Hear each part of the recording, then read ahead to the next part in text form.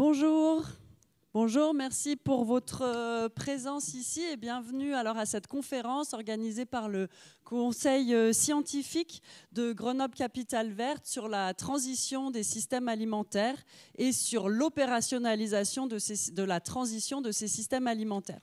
On est ravis euh, aujourd'hui de pouvoir vous accueillir en présentiel et en ligne. Je crois qu'il y a au moins bah, il y a au moins une cinquantaine de personnes qui sont euh, en ligne aussi. Euh, bienvenue tout le monde. On va commencer aujourd'hui et je vous propose d'abord un petit mot d'accueil euh, par Cyril Pléné, qui est élu euh, vice-présidente à Grenoble-Alpes Métropole à l'agriculture. Puis on est ravi aussi d'accueillir Salima Djidel, qui est aussi VP alimentation et sécurité alimentaire à Grenoble-Alpes Métropole. Donc qui vont ouvrir cette conférence et puis on entendra ensuite Magali Talandier, qui est présidente du Conseil scientifique de Grenoble Capitale Verte.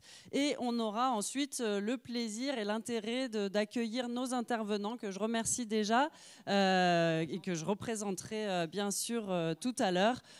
Monsieur Damien Conaré et Madame Roberta Sonino. moi, je suis Hélène Cohn, je suis enseignante-chercheuse à Sciences Po Grenoble et j'aurai le plaisir d'animer cette conférence toute la matinée. Merci beaucoup. Je vous laisse. Voilà.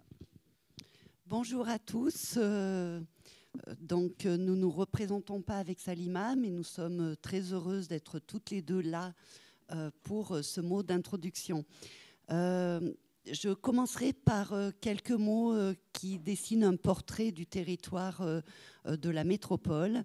Donc, la métropole, c'est un territoire de tradition agricole, mais qui s'est orienté vers la transition alimentaire. Euh, c'est 49 communes euh, pour 452 000 habitants. 2100 euh, agents sont employés à Grenoble-Alpes Métropole. Et parmi les 49 communes, 39 sont des communes de montagne, en zone montagne. Donc ça donne un aperçu de ce territoire qui est souvent appréhendé comme un territoire très urbain et très urbanisé et qui en fait euh, euh, est, très connecté euh, à, son monde forestier et à, son système agricole, puisque 57% du territoire est composé de bois, de forêts, et que 23% constituent des terres agricoles.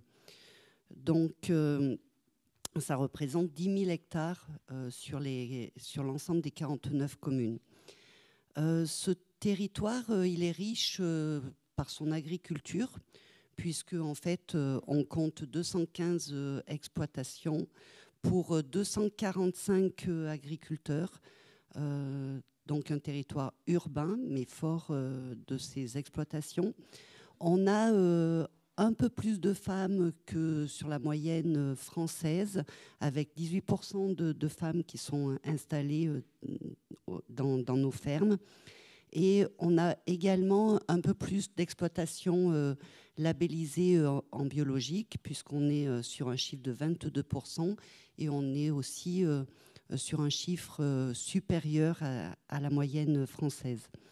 la métropole, c'est un, une agriculture diversifiée avec euh, plutôt des, zones maraîchères et céréalières euh, en plaine. ensuite, plutôt des céréales et des prairies sur les plateaux et des zones herbagères et fourragères sur, sur les coteaux. la métropole s'est dotée d'une stratégie de préservation des terres une stratégie assez ambitieuse et volontariste. Euh, pour cela, euh, dans le cadre de son plan local d'urbanisme intercommunal, le PLUI, 190 euh, hectares ont, été rendus pour préserver ces terres-là. Et nous avons mis en place différents dispositifs de, pour recourir à la protection du foncier agricole. Euh, parmi eux, euh, je ne les citerai pas tous, mais parmi eux, on a une convention de partenariat avec euh, la SAFER, mais aussi avec l'établissement public local foncier du territoire. Et nous sommes engagés dans des démarches de PAEN, des démarches de protection des espaces agricoles, mesure qui est portée par le département de l'Isère et nous en avons un sur la commune de Sassenage, euh, sur une entrée de la métropole, et d'autres euh, en discussion euh, dès à présent. 85 hectares de terres agricoles sont d'ores et déjà de propriété métropolitaine. C'est une façon de sauvegarder les terres qui, qui, qui, pourraient partir à de l'urbanisation ou à de la construction autres que agricoles, euh, avec trois fermes intercommunales et 25 euh, agriculteurs locataires euh, sont installés sur l'ensemble de, ces terres à travers des baux environnementaux. nous avons d'autres dispositifs hein, de soutien envers les agriculteurs pour certains types d'investissements également. Euh, et la métropole, en fait, a, euh, travaille sur un territoire plus élargi à travers un plan euh, alimentaire interterritorial. ce plan alimentaire a, été initié dès 2015 avec plusieurs territoires voisins et, et, plusieurs acteurs du monde agricole et alimentaire. Euh, donc je vais les citer parce que c'est important de, les comprendre. Nous avons plusieurs collectivités qui sont euh, les communautés de communes euh, du Voironnais, du Grésivaudan, du Trièvre, de Saint-Marcelin-Vercors-Isère, bien sûr la métropole, et la ville de Grenoble et deux parcs naturels régionaux qui sont ceux du Vercors et de la Chartreuse et une association euh, euh, en préfiguration de parc euh, qui s'appelle l'espace Beldon, donc qui couvre l'ensemble des massifs qui, nous, qui nous entourent. si, si, vous avez regardé autour de vous ce matin, vous avez dû apercevoir les montagnes et, et du coup l'ensemble de, ces massifs. ce, ce, ce diagnostic qui a été euh, conduit dans le cadre du PAIT a aussi associé euh, la, société civile et euh, parmi les partenaires, on compte le collectif autonomie alimentaire de la grande région grenobloise et également le réseau du Conseil de développement. ce PAIT a été labellisé de niveau 2, donc sur une phase opérationnelle en 2020, donc une reconnaissance qui euh, démontre qu'on est déjà sur un plan euh, d'action. Il regroupe euh, en fait plus de 300 communes. Donc la métropole, je disais que ça en était 49. Le PAIT, plus de 300 communes. 800 000 habitants.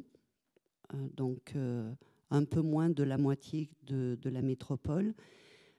et Parmi les chiffres importants que l'on peut citer, c'est que ça représente 90 000 repas euh, jour euh, pour euh, la restauration collective publique, dont 50 000 sur la métropole et 18 000 pour la ville de Grenoble.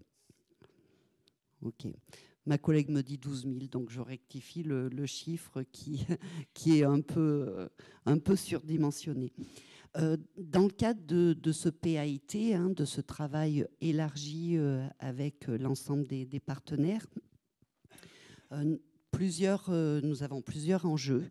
Donc, le premier, c'est de proposer et de travailler sur une gouvernance pour faire vivre notre système alimentaire.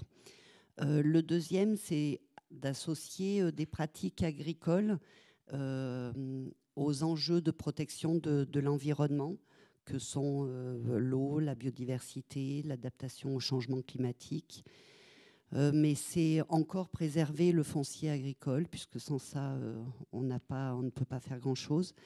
Et c'est également développer l'activité agricole, donc produire plus sur notre territoire, mais produire plus pour y développer des circuits courts, les circuits de proximité, développer aussi de la production de qualité et utiliser le levier de la restauration hors domicile qui représente un nombre de repas important.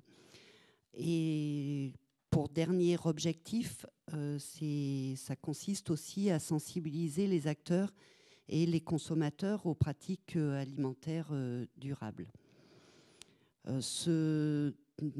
Par rapport à l'ensemble de ces enjeux, nous avons un plan d'action qui est partagé entre les différents acteurs euh, que j'ai cités euh, tout à l'heure et partagé et réparti euh, sur, par rapport à chacun de ces, acteurs. Et la métropole est chargée de la coordination de ce dispositif. Parmi nos actions phares, nous avons, je ne vais pas toutes les citer, mais nous avons un observatoire qui nous permet d'améliorer notre connaissance euh, de terrain, puisque c'est important de partir euh, euh, de, faits réels et concrets et tangibles. Nous avons un dispositif et différentes actions d'accompagnement de la restauration collective, à la fois sur le territoire métropolitain, mais aussi sur l'ensemble du territoire du PAIT. Et nous avons le mois de la transition alimentaire qui se déroule actuellement et qui va chercher à développer euh, euh, les changements de pratiques alimentaires et, de comportement face à l'assiette sur l'ensemble de notre territoire également. Dans le cadre de ce PAIT, en décembre 2021, nous avons décidé de, travailler sur, sur une prospective à l'échelle 2050 euh, parce que nous avions euh, besoin euh, d'analyser, de regarder finement ce qui se passait sur notre territoire au niveau de notre système agricole et alimentaire, de, s'approcher de cette réalité au plus près et, de, faire des projections sur l'avenir pour tracer une trajectoire euh, souhaitable en se donnant euh, des jalons de temps hein, à, 2030, 2040, 2050. Et par rapport à cette réalité de territoire d'aujourd'hui, nous avons dégagé des lignes directives, correctives, pour ajuster notre système agricole et alimentaire par rapport à, des inclinaisons euh, non souhaitables et, euh, euh, et, et, nous souhaitons mettre un plan d'action par rapport à ces, ces nouveaux indicateurs pour conduire le système agricole et alimentaire vers un futur acceptable et souhaitable sur notre, sur notre territoire. L'objectif aussi, c'était de permettre un travail euh, élargi, partagé euh, sur, sur la vision de notre territoire actuel, mais aussi sur la projection future de ce territoire, puisque rassembler 12 partenaires autour d'une table de travail, c'est voilà, ça demande aussi un besoin d'échange et de se projeter ensemble dans, dans le futur. Donc euh, ce travail nous a, nous a permis euh, de dégager plusieurs leviers euh, qu'on peut résumer en quatre points différents. il s'agit bah, dans un premier temps d'agir en faveur des transitions. Alors, bien entendu, on retrouve la préservation des terres agricoles, forcément, mais aussi la division par deux des, de l'émission de gaz à effet de serre, mais aussi euh, de tendre vers le zéro euh, phyto euh, de synthèse sur notre territoire. nous avons même précisé qu'il serait souhaitable de le diviser par quatre à l'échelle, à l'horizon des années 2050. nous souhaitons aussi aller vers l'arrêt de l'utilisation des engrais azotés de synthèse et un objectif qui est essentiel pour notre territoire également, c'est d'augmenter la production de, de, fruits, de légumes et de légumineuses. En tous les cas, de soutenir l'augmentation de la production sur notre territoire. Parmi les autres axes, c'est aussi euh, le maintien et le soutien aux activités de pastoralisme euh, pour euh, préserver le système herbagé de, notre agriculture de montagne et de coteaux, avec une attention toute particulière pour ne pas intensifier les élevages, notamment de, porcs et de poules, voilà, euh, nous, avons un territoire qui compte très peu très peu d'élevage intensif, même sur certaines filières, euh, nous n'en avons pas, mais euh, c'est quelque chose que nous souhaitons éviter sur notre territoire. nous souhaitons, enfin, parmi le, dernier point, en fait, c'est d'aller, de permettre à chacun d'accéder à une alimentation euh, durable, de qualité, euh, avec des objectifs qui, paraissent, enfin, qui sont ambitieux, hein, puisque nous aimerions euh, recommander ou, ou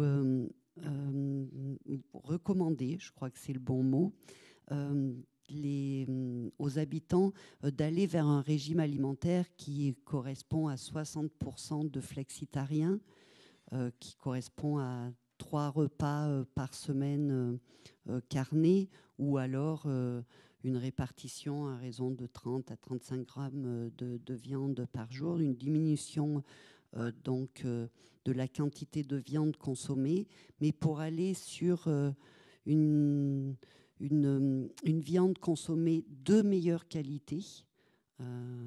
voilà, viande que l'on produit sur notre territoire euh, qui présente des caractères de qualité, qui présente à travers ces prairies un stockage de carbone intéressant, mais qui est déficitaire euh, en nombre euh, de, kilos consommés par rapport à, notre territoire. Nous aimerions également avoir 10% de, de, mangeurs qui ne changent pas de pratique alimentaire et plutôt 30% euh, de végétariens euh, à, l'échelle 2050. Et puis, euh, nous aimerions aussi permettre aux, habitants de rester sur la référence IMC des années 2000, voilà, au niveau de la masse corporelle. notre territoire, à l'échelle du PAIT, en fait, euh, présente des caractéristiques euh, très, très positives. Euh, on peut très, très positives. On peut se, féliciter de, caractéristiques très déjà qui, qui, démontrent un certain caractère vertueux. donc nous avons par exemple une agriculture qui est très diversifiée, qui est moins soumise à l'usage des phytosanitaires que d'autres territoires. Euh, nous avons euh, une bonne connaissance de notre territoire, un, bon maillage d'acteurs euh, de terrain, un, travail partenarial qui est déjà très installé et très fort. nous avons bah, des actions hein, très importantes au niveau de l'implication des, acteurs euh, par rapport aux, enjeux de la transition euh, alimentaire. Euh, et donc des, points très forts, mais en même temps, les perspectives travaillées à l'échelle 2050 nous ont démontré que nous avons besoin de rectifier certaines lignes et d'agir et, de mettre des actions en lien par rapport à nos objectifs et à notre stratégie souhaitée. Et euh, c'est pour, cela que cette conférence de ce matin est importante, puisque nous nous posons la question de comment conduire euh, des actions, comment opérationnaliser au mieux en fait notre transition alimentaire par rapport euh, aux objectifs définis.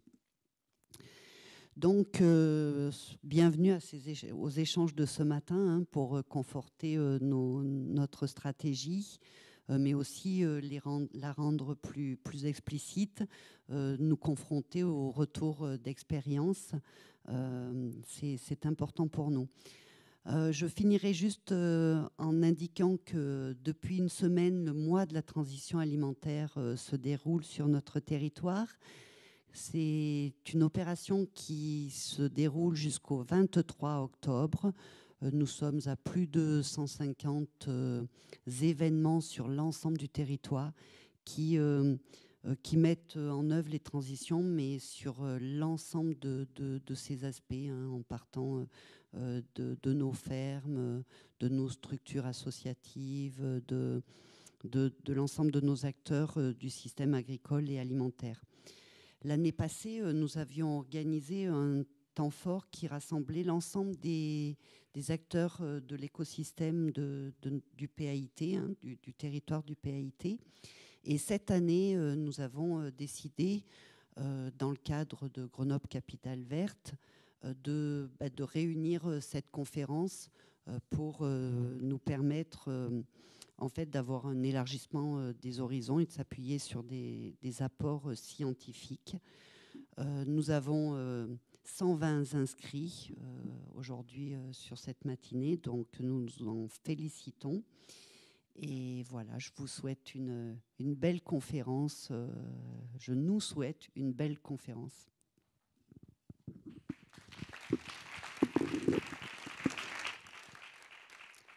Merci beaucoup, Cyril, Cyril Plenet. Pardon. Salut Majidel, un petit mot? Oui, bon. Bah, Cyril a tout dit en gros. Hein. Juste dire que euh, la question d'alimentation, c'est une question éminemment politique et euh, il me semble important d'insister sur le fait que parmi euh, tous les territoires, les chambres consulaires et les partenaires de la société civile, on, arrive à trouver le, consensus qu'il faut pour avancer sur les questions d'agriculture et d'alimentation et aussi sur le fait de reterritorialiser notre alimentation et notamment à travers à travers un, ah mot m'échappe, mais une, un, support qu'on aurait écrit communément pour alerter sur le fait que on est contraint aujourd'hui sur le code des marchés publics euh, d'aller euh, chercher euh, notre alimentation ailleurs. Or, on a de quoi faire sur le territoire. Et, et, en fait, l'idée, c'était de faire bouger le Code des marchés publics et d'interpeller le ministre de l'Agriculture pour dire que nous, on, voulait fonctionner autrement et que c'était important pour notre santé, pour la planète et pour nos convives de pouvoir fonctionner autrement. Mais je pense que euh, durant tous les événements va, euh, qui, vont se dérouler durant le mois de, le mois de la transition alimentaire, on aura euh, bien des espaces où on recausera de, de, de, ce sujet, et notamment dimanche prochain. Je ne sais plus sur quel territoire, mais il y a une conférence avec Monsieur Linou, j'ai oublié son prénom. Stéphane, voilà. Euh, sur euh, comment euh, on peut manger à proximité et sur les défis locavores. Voilà. Donc, vous pouvez tous vous renseigner sur le site du PAIT pour voir l'ensemble de la programmation qui se déroule sur l'ensemble du territoire du PAIT, à 300 communes, donc ça fait bouger et, ça nourrit. Merci beaucoup.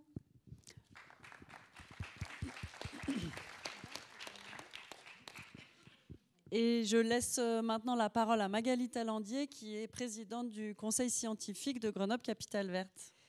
Oui, ben, merci pour l'invitation, merci euh, pour euh, toutes ces manifestations qui, qui vont animer le, territoire pendant un mois. Donc. donc, alors en effet, moi je suis là pour juste vous présenter, expliquer ce qu'est ce, ce conseil scientifique, ce que nous faisons euh, et voilà, et vous inviter aussi euh, dans les manifestations qu'on organise. Donc, euh, le conseil scientifique, comme son nom l'indique, regroupe des chercheurs, donc 40 chercheurs du site grenoblois qui travaillons donc ensemble sur les questions de transition. donc avec un, spectre assez large, puisque la volonté de ce conseil scientifique qui a été initié à la demande des élus et du président de l'université Grenoble-Alpes. donc, ville de Grenoble, métropole Alpes-Grenoble et, et, université. Donc, l'objectif, c'est d'avoir un panel euh, de scientifiques euh, de toutes disciplines, euh, donc des scientifiques spécialistes du climat, de l'air, de la santé, mais aussi des, scientifiques dans ce qu'on appelle les SHS, les sciences humaines et sociales, pour aussi voir comment nous pouvons avancer sur la mise en action aussi euh, de ces transitions, leurs impacts, euh, les ruptures que ça demande, les freins, euh, les risques, etc. Donc on, a vraiment essayé de constituer une équipe pluridisciplinaire et qui donc accompagnons en tout cas pour l'année 2022 euh, toute l'équipe de Capital Verte, et puis qui a pour mission ensuite, puisque c'est un conseil scientifique qui, qui, n'est pas éphémère, euh, qui a pour mission ensuite d'accompagner la métropole sur, euh, sur l'observation, en tout cas, des, des, impacts de ces politiques dans le cadre du plan climat-air-énergie. Donc, ce conseil scientifique, dans le, pour l'année 2022, il s'est donné comme objectif de partager euh, ses connaissances, partager la science, essayer euh, voilà, de, contribuer à l'un des mantras euh, de l'année Capitale Verte, puisque Grenoble, le territoire grenoblois pour cette année a choisi comme mantra penser, rêver, agir. Bon, bah nous, on est plutôt dans la rubrique euh, pensée. Euh, donc voilà, donc on essaie, euh, à travers plusieurs manifestations sur chacun des thèmes depuis le mois de janvier, de proposer alors des conférences euh, comme aujourd'hui, parce que c'est évidemment un format euh, qui nous correspond, mais aussi de sensibiliser des publics euh, peut-être moins avertis, plus divers, voilà, des, enfants, des personnes pas forcément dans la vie active, avec des, des formats plus originaux. Euh, des formats, euh, par exemple, sous forme de pièces de théâtre ou d'expositions ou de déambulations urbaines. Donc, nous avons aussi beaucoup travaillé avec des artistes pour, euh, pour partager donc, nos résultats de recherche et essayer d'apporter un peu voilà, notre pierre à ce vaste chantier. Donc pour ce qui est de la transition alimentaire et du, du thème du mois actuel, c'est donc ce que nous vous présentons aujourd'hui. Ce que permet Capital Verte, c'est de mettre aussi en lien bah, euh, des, personnes connues, reconnues et d'avoir la chance, euh, par exemple aujourd'hui, euh, et je les remercie d'avoir nos deux conférenciers, donc Roberta Sonino et Damien Conaré. Donc Capital Vert permet aussi cette mise en relation hein, finalement entre des grands spécialistes de nos sujets et puis, nous qui travaillons au quotidien sur ces questions-là. Ce que nous avons aussi voulu, c'est organiser des controverses, des débats. Donc vous avez aussi des temps de confrontation quelque part de nos recherches avec euh, la parole et, les actions euh, prises par les territoires. Donc toutes ces, toutes ces manifestations, vous les retrouverez là encore sur le site, alors pas du PAIT, mais sur le site Green Grenoble, avec une rubrique consacrée au conseil scientifique. voilà. Et donc là, dans les jours à venir, je vous invite à venir marcher avec nous demain. Donc samedi, on a une manifestation sur le thème de la pollution. Euh, et donc, on vous équipera de capteurs, pour ceux qui le veulent, pour euh, marcher, mesurer en temps réel la, pollution euh, dans la ville de Grenoble. Et nous débrieferons ensuite avec les chercheurs spécialistes de ces questions pour qu'on comprenne mieux tous ensemble ces enjeux. Et cette marche sera suivie d'une pièce de théâtre d'artistes qui ont été en résidence pendant 15 jours donc, dans nos laboratoires pour observer. Et on ne sait pas ce qu'ils vont voilà, nous, euh, nous, traduire sous forme poétique, mais en tout cas, ils vont essayer aussi, à leur façon, euh, de sensibiliser le public. Et on aura aussi cette pièce de théâtre qui sera rejouée à la bobine euh, lundi, je crois, le 3 octobre en tout cas. Voilà, donc je vous invite à, et puis plein d'autres manifestations plus tard, mais je vous invite à aller voir notre programme. Petite chose aussi pour laisser une trace de tous ces échanges, pour aussi voilà que, cette transmission se poursuive. Beaucoup de nos manifestations, quand c'est possible, sont filmées, enregistrées, comme la conférence d'aujourd'hui, donc euh, disponible en replay ensuite toujours sur le site de Green Grenoble. Et puis, autre format aussi pour euh, laisser une trace et permettre à chacun de, revenir euh, sur, tout ce que l'on s'est dit. On a aussi donc lancé une, une collection d'e-books, donc de petits textes en ligne, téléchargeables gratuitement avec les presses universitaires de Grenoble, une collection qui s'appelle Transition environnementale. Et vous y retrouverez donc des textes, alors sur l'alimentation, pas encore, mais ça va venir puisque le mois euh, démarre, mais des textes par exemple euh, par rapport au, sujet du jour, euh, sur le sol ou sur la biodiversité, mais aussi sur le climat, etc., sur les thèmes qui ont animé Capital Verte précédemment. Voilà, donc je tenais enfin à remercier l'équipe qui a organisé euh, euh, cette matinée. Et, euh, voilà, et vraiment, c'était c'était aussi un challenge d'arriver à réunir tout le monde ce matin. Donc je remercie alors Caroline Brandt qui, n'est pas présente pour des raisons familiales, Lilian Vargas, Christine Oriol et Hélène Cohn. Donc merci aussi à vous quatre qui avez œuvré pour que cette matinée voilà, soit de forte qualité et que les échanges ensuite, évidemment, nourrissent nos, nos actions et nos réflexions. Merci beaucoup à tout le monde.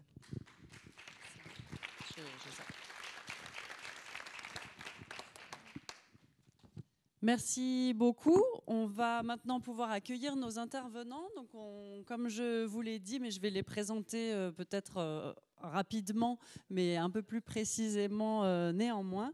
Pardon, et prendre ta place. Euh, donc on aura d'abord euh, le plaisir d'écouter euh, Damien Conaré, qui est ingénieur agronome de formation, secrétaire général de la chaire UNESCO Alimentation du Monde à Montpellier Supagro. Merci beaucoup. Donc la, la, chaire UNESCO Alimentation du Monde est soutenue par la Fondation Daniel et Nina Carosso et par la Fondation Charles Léopold Meyer pour le progrès de l'homme et elle a pour ambition de coordonner des programmes de recherche, de formation, de transfert de connaissances euh, en France et dans le monde. Et à travers son réseau euh, UniTwin, University Training and, Networking, elle a une approche multidisciplinaire euh, associant sciences biotechniques et sciences sociales. Oh, vous pouviez rester, vous deviez rester. Vous ne vouliez pas rester? Oui, oui. Si.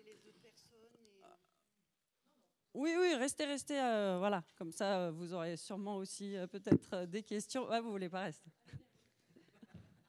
Allez, merci. Euh, donc je disais que c'était vraiment une approche multidisciplinaire et c'est ça qui est très important et qui nous intéresse euh, aussi euh, aujourd'hui, évidemment, pour associer donc sciences biotechniques et sciences sociales pour la promotion des systèmes alimentaires, agricoles et alimentaires durables. Donc à travers ces différentes activités, la chaire UNESCO Alimentation du Monde représente un, espace ouvert et décloisonné d'échange et d'expérimentation pour promouvoir ce système alimentaire durable, notamment en milieu urbain, euh, avec donc la, défense de la conviction que l'alimentation est bien plus qu'un secteur économique. Elle recouvre donc des enjeux considérables en matière d'environnement, de santé, de solidarité, de construction des identités et des cultures, mais aussi des pratiques euh, artistiques. Donc à chacune de ces fonctions correspondent des disciplines scientifiques que la chaire entend décloisonner pour euh, développer une approche holistique de l'alimentation. Et euh, donc aujourd'hui, bah, Damien Conaré pourra nous, parler de, de la transversalité en fait, de toutes ces questions. Il a beaucoup travaillé durant sa carrière pour ouvrir des espaces de débat entre différents acteurs, des chercheurs, des ONG, des politiques, des acteurs privés sur ces questions liées à l'alimentation et à la mondialisation. Et puis ensuite, euh, nous pourrons écouter euh, Roberta Sonino, qui est donc euh, professeure de géographie à l'université de Surrey en Grande-Bretagne et qui travaille au Center for Environment and, for, and Sustainability. Donc ces travaux de recherche portent sur les systèmes alimentaires durables avec un accent particulier sur la gouvernance. Elle a donc acquis depuis plus de 20 ans une expertise dans les domaines de la géographie de l'alimentation euh, sur les questions de relocalisation des acteurs de l'alimentation, de durabilité des systèmes alimentaires, de la gouvernance alimentaire urbaine, de la sécurité alimentaire et de la restauration collective euh, publique.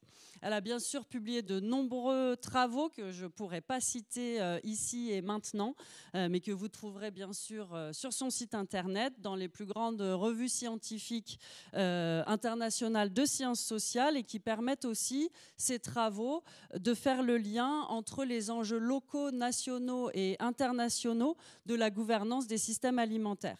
Elle a acquis une reconnaissance au niveau européen et international, au niveau scientifique et politique, et elle a aussi travaillé à l'interface entre science et politique, puisqu'elle a aussi été conseillère auprès de nombreux organismes euh, européens et internationaux, dont la FAO et la Commission européenne. Donc je vous remercie euh, beaucoup tous les deux d'avoir accepté euh, aujourd'hui nos invitations et de vous être rendus disponibles. Et je vous propose euh, qu'on commence tout de suite avec vous, Damien Conaré, sur ces questions-là. Merci.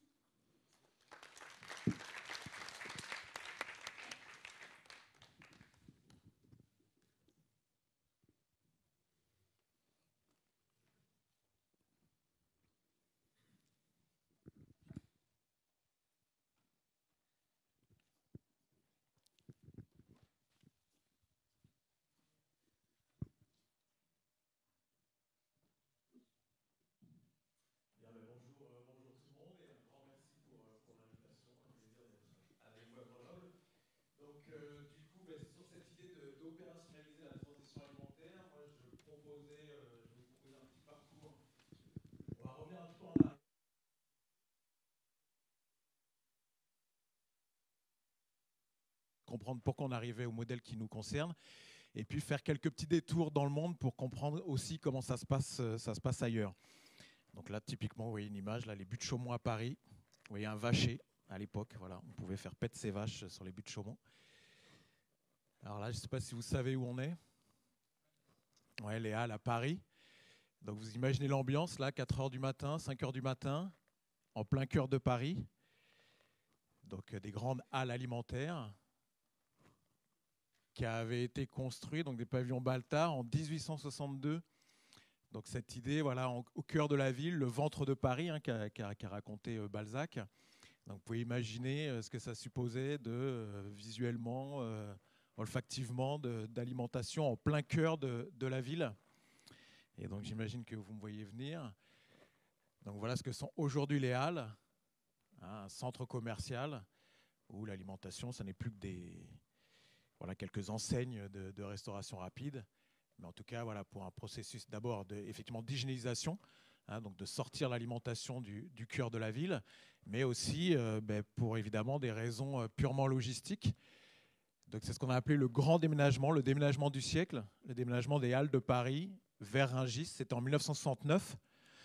Donc vous voyez euh, très bien de haut là, les, 10 pavillons Baltard. Donc c'était 10 pavillons thématiques, fruits et légumes, viande, poissons, etc. etc.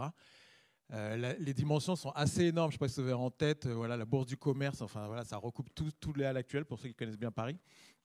Donc, c'était vraiment des pavillons immenses, très très hauts.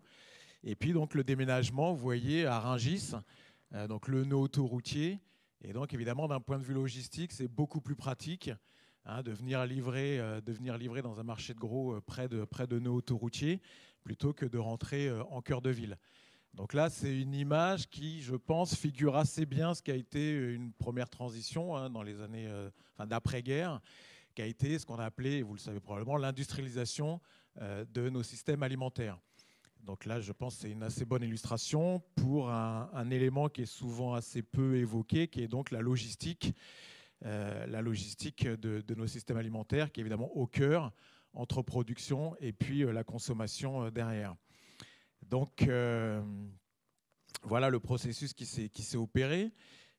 pareil, on peut revenir un petit peu dans, l'histoire. Donc toujours à Paris, porte de Pantin, tournant 19e, 20e. Donc vous voyez un petit peu l'activité qu'il y avait. Hein, un berger avec ses moutons qui doit les amener aux abattoirs de la Villette, j'imagine. Vous voyez tous ces produits agricoles, matières premières pures, qui probablement vont être transformés quelque part dans Paris. Hein, donc on a des activités de transformation en cœur de ville, ce qui, là encore, pour des raisons hygiénistes et autres, euh, se sont euh, modifiés. Voilà la porte de Pantin aujourd'hui.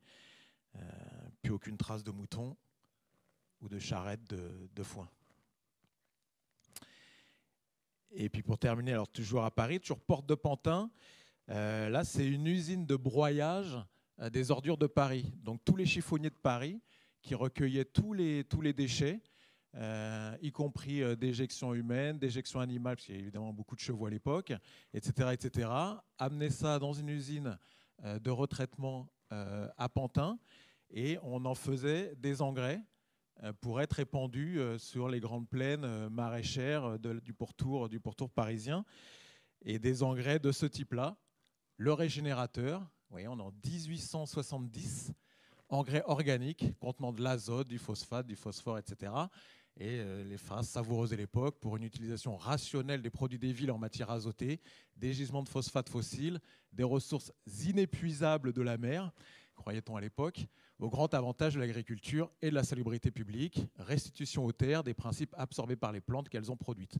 Donc à l'époque, on ne parlait pas de, voilà, je pense, de métabolisme urbain ou de, ou de, boucler les cycles, mais vous voyez qu'en 1862, voilà comment on en 1870, pardon, voilà comment on promeut euh, le régénérateur, engrais qui utilise les déchets de la ville au profit de l'agriculture. Et vous voyez les composants, matière fécale à 30%, des urines à 30%, et puis le reste de l'argile pulvérisée, de la fiente de cheval, du charbon, et puis ben, un peu de chaux éteinte pour, euh, voilà, pour les odeurs sur tout ça. Donc euh, en gros, on recycle les déjections humaines et animales au profit de l'agriculture. Donc on est vraiment dans un système fermé où la ville produit euh, des déchets qui vont alimenter l'agriculture, qui en retour alimente les urbains. Donc on était vraiment dans un système métabolique d'une ville qui, qui consomme, qui rejette euh, et, dont l'agriculture profite pour, pour alimenter ensuite les urbains. Donc vous comprenez qu'on est un peu sorti de, de, ce système-là bouclé. Alors, autre exemple, puis pour faire honneur à notre, autre, à notre hôte pardon, anglaise, euh, voilà, c'était euh, voilà, grand marché en plein cœur de Londres, grand marché au bétail, Smithfield Market. ça, c'est des images qu'on doit à une, une, collègue anglaise, Caroline Steele, qui est architecte et qui a beaucoup travaillé sur la ville affamée et qui nous a ramené à l'idée d'une ville organique pré-industrielle où ben, l'alimentation est vraiment en cœur de ville, façonne la ville, euh, les rues, euh, l'organisation euh, de l'urbanisme, etc. Et on l'a vu avec la photo des, Halles de Paris plus tôt. Et puis des tours géographiques, là on est à Chicago, la boucherie du monde à l'époque, entre deux guerres. vous voyez un petit peu le marché industriel que ça représente. Et tout ça va partir à l'abattoir donc c'est euh, le tournant, pour la faire assez courte, sortir de la Deuxième Guerre mondiale, euh, une Europe, et puis bah, ailleurs dans le monde, mais en tout cas une Europe euh, évidemment assez décimée, et il faut rebâtir et, reproduire. Donc on recrée tout un système agricole, de transformation, etc., qui est industrialisé avec une grande distribution qui va se mettre et qui va se mettre aussi, qui va se développer, particulièrement en France. Hein, on a été assez champion en la matière. Euh, et du coup, ben voilà, un paquet technologique pour l'agriculture, des engrais, des produits de défense des plantes, la mécanisation. Euh, et euh, tout cela aidé par, ben vous le savez, une politique agricole commune qui va largement subventionner cette course à la production qui s'est avérée particulièrement efficace et, euh, contrat rempli, puisque euh, bah, depuis maintenant au moins 40 euh, ans, effectivement, l'Europe a retrouvé son autonomie en matière de, production agricole alimentaire jusqu'à les premières crises des années 70, début des années 80, de surproduction, où finalement le système a tellement bien marché qu'on s'est mis à trop produire. Vous vous souvenez des montagnes de lait ou de beurre, et puis bon, bah, évidemment plus récemment d'autres types de, surproduction. Donc voilà, une agro-industrialisation de, de, nos systèmes alimentaires qui euh, ben, euh, se sont pas faits sans un certain nombre de, alors évidemment euh, très à la fois à la fois une grande réussite et puis évidemment puisqu'on parle de transition un certain nombre de, limites. Alors je vais aller très vite parce que je sais que Roberta va, décrire aussi les, les limites de, ce système. Donc en matière de santé, voilà, je passe rapidement. En matière d'environnement, bon, ben, vous le savez, effectivement, les questions d'épuisement de ressources, perte de biodiversité, les questions de, gaspillage, les pollutions et les émissions de, gaz à effet de serre. En ce qui concerne les émissions, de gaz à effet de serre, juste pour avoir euh, quelques idées en tête, on considère que le système alimentaire, alors vu au sens large, hein, quand moi je vous parlais d'alimentation, c'est depuis la production, la transformation, la distribution, la consommation, puis la gestion des déchets. Et donc on considère que ce système alimentaire est responsable en gros, voilà, ça se discute, mais en gros, de un tiers des émissions euh, liées aux activités humaines. Donc notre alimentation est particulièrement pourvoyeuse d'émissions de, gaz à effet de serre. Et on sait que dans le système alimentaire, le lieu principal où se, déroulent les émissions, c'est au niveau de la production. Alors on sait qu'il y a aussi du transport, le stockage, etc. Mais le gros des émissions se fait au niveau de la production, en particulier sur les questions d'élevage, mais pas seulement. On sait aussi que pour les grandes cultures, tout ce qui est mécanisation et puis ensuite euh, l'utilisation d'engrais euh, et de produits phytosanitaires sont euh, émetteurs. Donc voilà, la production, le choix des systèmes de production sont vraiment un gros levier en matière de transition pour notamment réduire les, émissions de, gaz à effet de serre. Ensuite, un certain nombre d'impacts aussi socio-économiques, avec, bah, vous le savez, une grande concentration dans les filières et euh, ce qu'on appelle le milieu, euh, les industries agroalimentaires et la distribution, qui captent une grande, partie de, la valeur ajoutée, souvent aux dépens euh, des agriculteurs qui sont injustement rémunérés de, leur travail. Une hyperspécialisation géographique à travers le monde. Et puis, c'est important de le rappeler, une grande vulnérabilité des emplois. En fait, si on réfléchit un peu, que ce soit au niveau des agriculteurs, d'un certain nombre d'industries de transformation. On peut penser notamment euh, aux abattoirs, puisque j'en parlais tout à l'heure. Et puis les travaux euh, dans la distribution, euh, on peut penser aux hôtesses de caisse. Et puis au final, les livraisons en ville, hein, dont on voit bien qui aujourd'hui s'en occupe.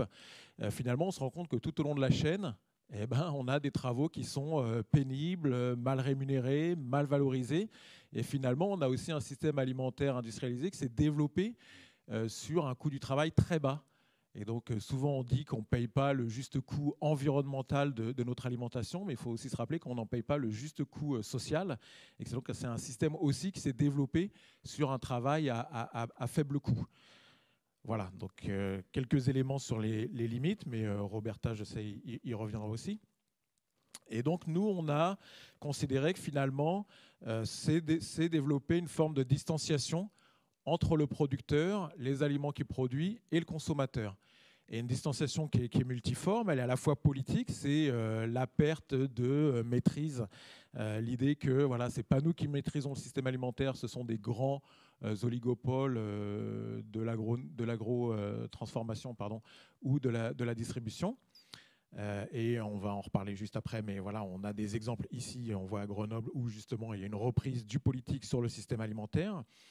Euh, aussi une distanciation économique avec la multiplication des intermédiaires euh, entre, encore une fois, les agriculteurs et les consommateurs.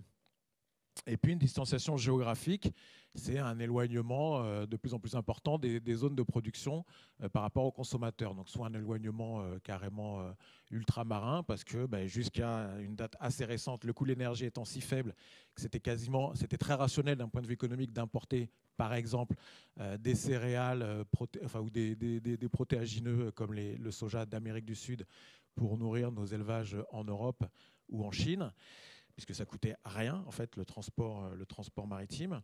Et puis évidemment les villes qui s'étendent. Alors là encore, on voit qu'on contre ça en sanctuarisant du, foncier agricole, mais évidemment les terres qui gagnent, les villes pardon qui gagnent sur les terres agricoles. Donc un éloignement géographique, une distanciation géographique de l'alimentation et puis aussi une distanciation cognitive où petit à petit, euh, bah, de plus en plus, finalement, on ne sait plus très bien à quoi correspond le travail agricole, on ne sait plus très bien euh, comment, ça s'est opéré, euh, peut-être encore moins comment les produits ont été transformés, ce qui génère ce qu'un sociologue de l'alimentation, Claude Fischler, appelle l'angoisse du mangeur, l'idée qu'on ne sait plus vraiment exactement par qui ni comment ont été produits et transformés les aliments qu'on mange. Donc face à cette forme de distanciation, et ça nous a été très bien décrit, encore une fois dans le cas de, Grenoble, de Grenoble pardon, il y a cette volonté de relocaliser, reterritorialiser notre alimentation, retrouver un lien plus direct entre le producteur et le consommateur, réduire les, transports et donc potentiellement réduire les, sources de pollution, relier plus directement à travers des circuits courts les producteurs et les consommateurs. Euh, et puis euh, donner euh, plus de, poids aux acteurs dans le système alimentaire et que les citoyens puissent avoir leur mot à dire à travers un certain nombre d'actions, et je sais qu'ici un certain nombre sont, sont aussi, et une reprise de contrôle à travers des formes de ce qu'on appelle de démocratie alimentaire, et là encore Roberta y, reviendra. Et puis c'est l'idée que moins de transport, évidemment, moins d'intermédiaires, donc possiblement réduire les occasions de, de perte et de gaspillage. Et tout ça occasionne ben, un certain nombre d'expériences socio-économiques qui sont très innovantes, euh, souvent, euh, souvent alternatives au, modèle conventionnel qu'on vient de décrire. Et je vous donnerai quelques, quelques exemples rapides. Donc évidemment, ça, a suscité euh, tout un vaste mouvement, là, ce retour au local. Donc juste quelques exemples voilà, de, publicité. Le département de Vendée, pour qui manger local, c'est pas banal. les départements de l'Aude, manger local, c'est oufissime. Et puis pour vos, euh, voisins genevois, euh, voilà, les produits genevois, je ne vois que ça. Un engouement euh, bah, assez international, hein, aux États-Unis aussi. Voilà, dix bonnes raisons de, manger local. pour un certain nombre de raisons. Enfin, en gros, manger local, c'est meilleur pour beaucoup de choses. C'est même meilleur en goût. C'est plus sain. et puis c'est le, voilà, c'est le futur on peut pas acheter le, local, euh, on peut pas acheter pardon, le, le, bonheur, mais on peut acheter local et c'est à peu près la même chose. Donc euh, tout ça pour dire que voilà, il y a ce grand engouement euh, pour le local. attention au piège du local, ça a voilà, souvent été expliqué. Mais aujourd'hui, il y a une, espèce de confusion, d'analogie assez directe entre l'idée c'est local, donc c'est durable, par nature. Bon, c'est pas parce qu'un produit est, euh, euh, produit euh, localement qu'il va être plus durable d'un point de vue environnemental ou d'un point de vue social. On peut consommer par chez nous une tomate locale, produite avec énormément de, produits phytosanitaires et, et récoltée par des travailleurs sans papier surexploités. Donc euh, voilà, pour euh, faire attention au piège du local, petite analogie avec Astérix, hein, l'idée de ne pas tomber euh, voilà, dans une somme de petits territoires vertueux les uns à côté des autres au milieu d'un océan de malfaisants. Et on sait aussi que voilà, la question du localisme, politiquement, voilà, peut-être extrêmement tendancieuse, vous le savez. Euh, donc voilà, rappelez aussi que l'alimentation, c'est un formidable vecteur de, rencontre avec le monde.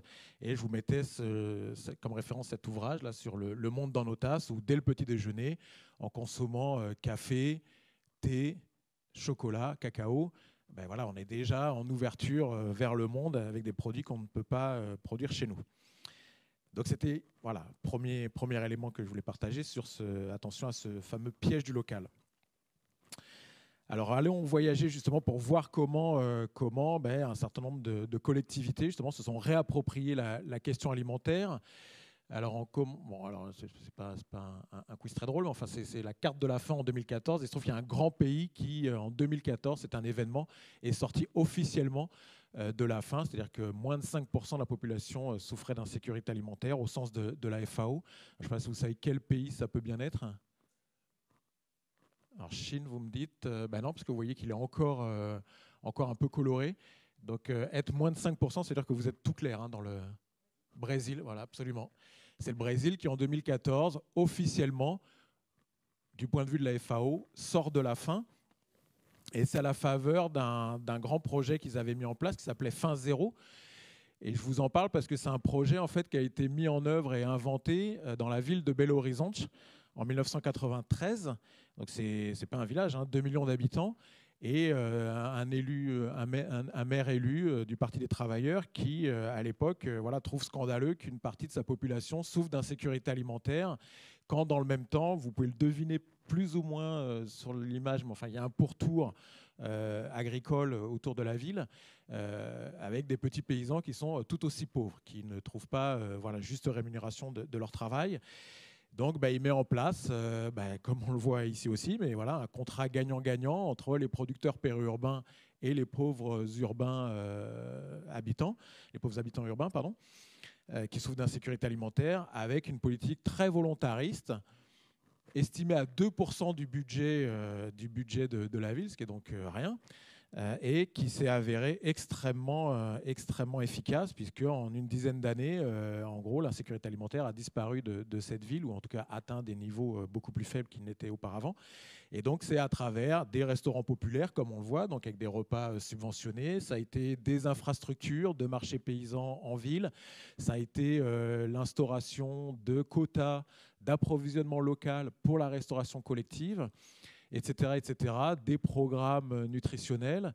Et finalement, vu la réussite de cette expérience à l'échelle de, Belo Horizonte, c'est un projet qui ensuite a été décliné à l'échelle de, tout le pays, du Brésil, avec donc du coup le succès qu'on vient de voir en 2014.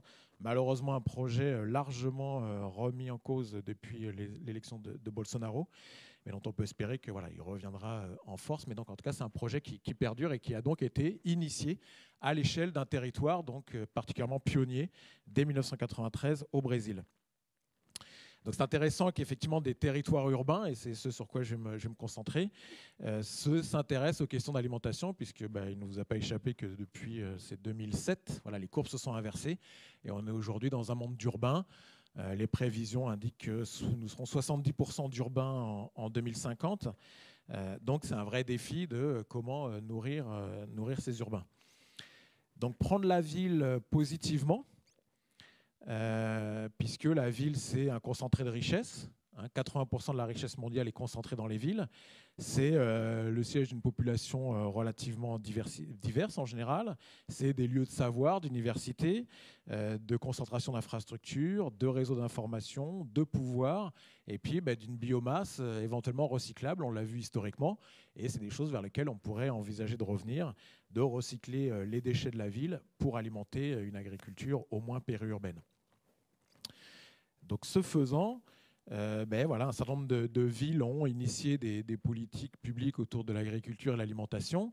Et ça a été dit, l'alimentation est multidimensionnelle, euh, de sorte que lancer une politique publique autour de l'agriculture et l'alimentation, ça permet finalement de toucher un vaste, un vaste domaine euh, d'action possible en matière d'économie, de social, de culture, d'entretien des paysages, euh, d'environnement, euh, de santé et puis de solidarité euh, avec les plus, démunis. Donc finalement, ça peut être des politiques extrêmement efficaces, ou en tout cas avec des, implications et des conséquences très larges. Donc ça, c'est évidemment l'avantage. La difficulté, c'est que du coup, on est quand même dans des formes de gouvernance, au moins en France, très en et que c'est assez compliqué du coup d'initier de telles politiques qui touchent à autant de sujets.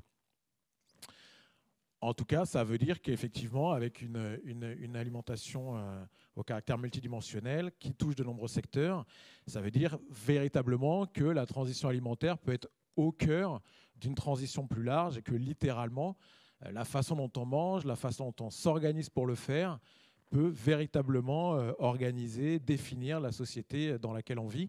Donc voilà, considérer la transition alimentaire comme possiblement, enfin en tout cas évidemment j'ai les lunettes alimentation, mais au cœur euh, des phénomènes de transition quand on sait tous les impacts et tous les sujets qui sont traités à travers la transition alimentaire.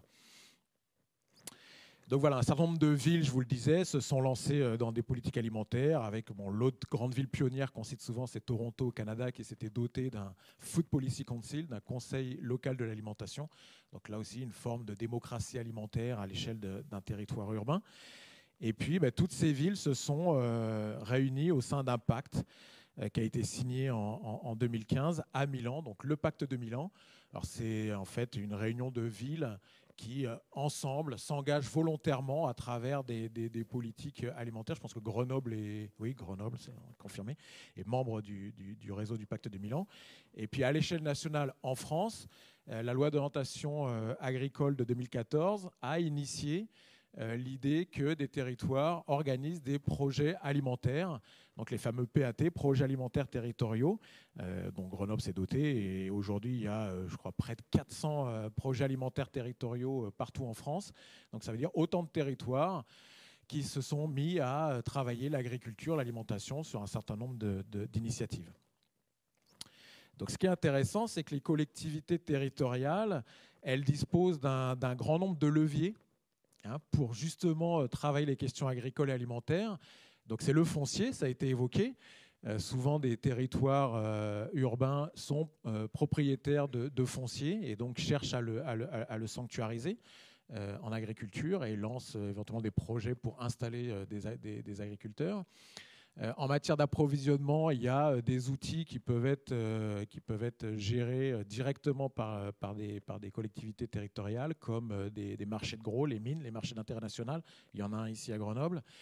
Euh, on en a un aussi, nous, à Montpellier. Donc, c'est des formidables outils euh, d'approvisionnement de, la ville. en matière de distribution, ben, évidemment, l'urbanisme commercial, l'urbanisme urbain, où se dispose, comment lutter contre les déserts alimentaires. Et puis, autre levier important, c'est celui de la restauration collective. la ville a la main sur les cantines scolaires et donc peut évidemment bonifier l'alimentation des, enfants. La gestion des déchets et puis, en matière de gouvernance, pouvoir organiser des conseils locaux de, l'alimentation. Donc, euh, vraiment, les autorités locales disposent de, leviers euh, techniques pour justement organiser l'agriculture et l'alimentation sur, leur territoire. Pour terminer, je vais passer euh, rapidement en revue un certain nombre d'initiatives sur justement pour, pour illustrer tous ces leviers. Donc en matière de, restauration collective, et puis, euh, ben, moi, je vais prêcher pour ma paroisse, mais à Montpellier. Donc, il y a eu un grand travail euh, très volontaire euh, ou très volontariste autour de, la restauration collective pour l'approvisionnement. Ça avait commencé par quelque chose voilà, d'assez symbolique, le pain, par ben, du coup s'approvisionner en pain bio pour les, les, cantines scolaires. Et ça a initié du coup une filière de blé dur bio sur le territoire. Donc on voit qu'effectivement, là, euh, la ville, euh, par une politique volontariste, peut initier une, filière sur son territoire.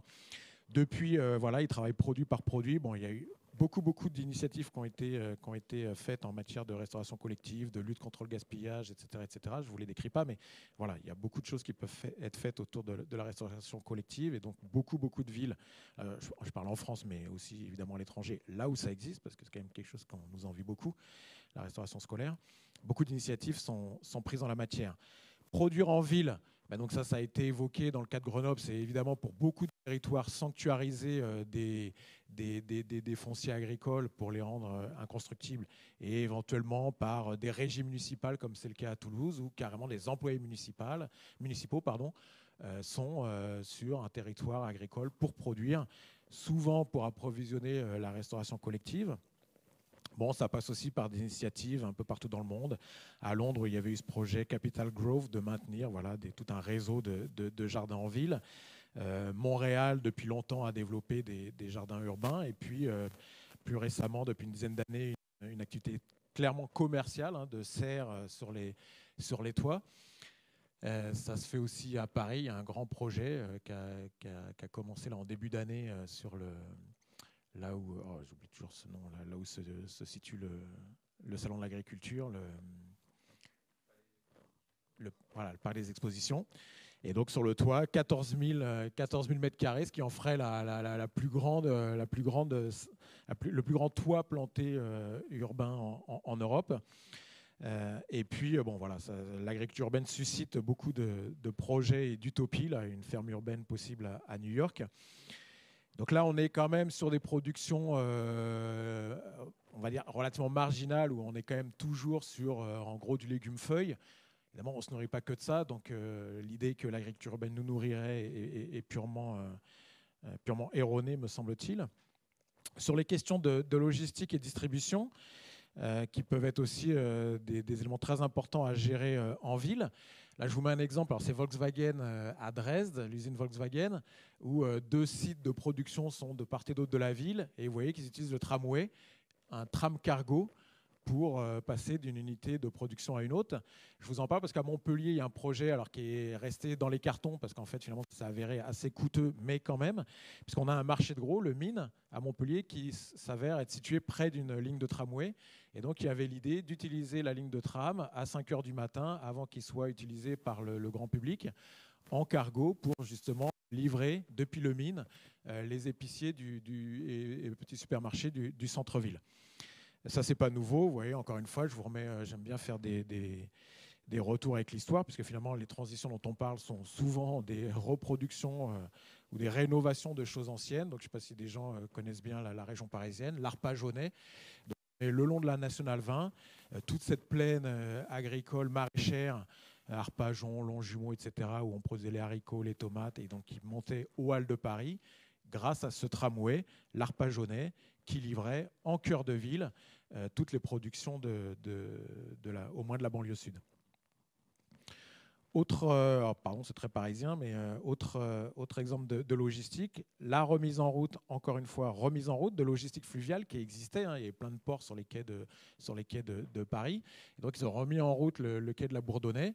Et donc là, c'est une, enseigne privée de grande distribution qui a sa plateforme plus loin à l'est de Paris et qui utilise du coup, au lieu de venir en camion en ville, utilise la Seine avec des péniches pour livrer en cœur de ville.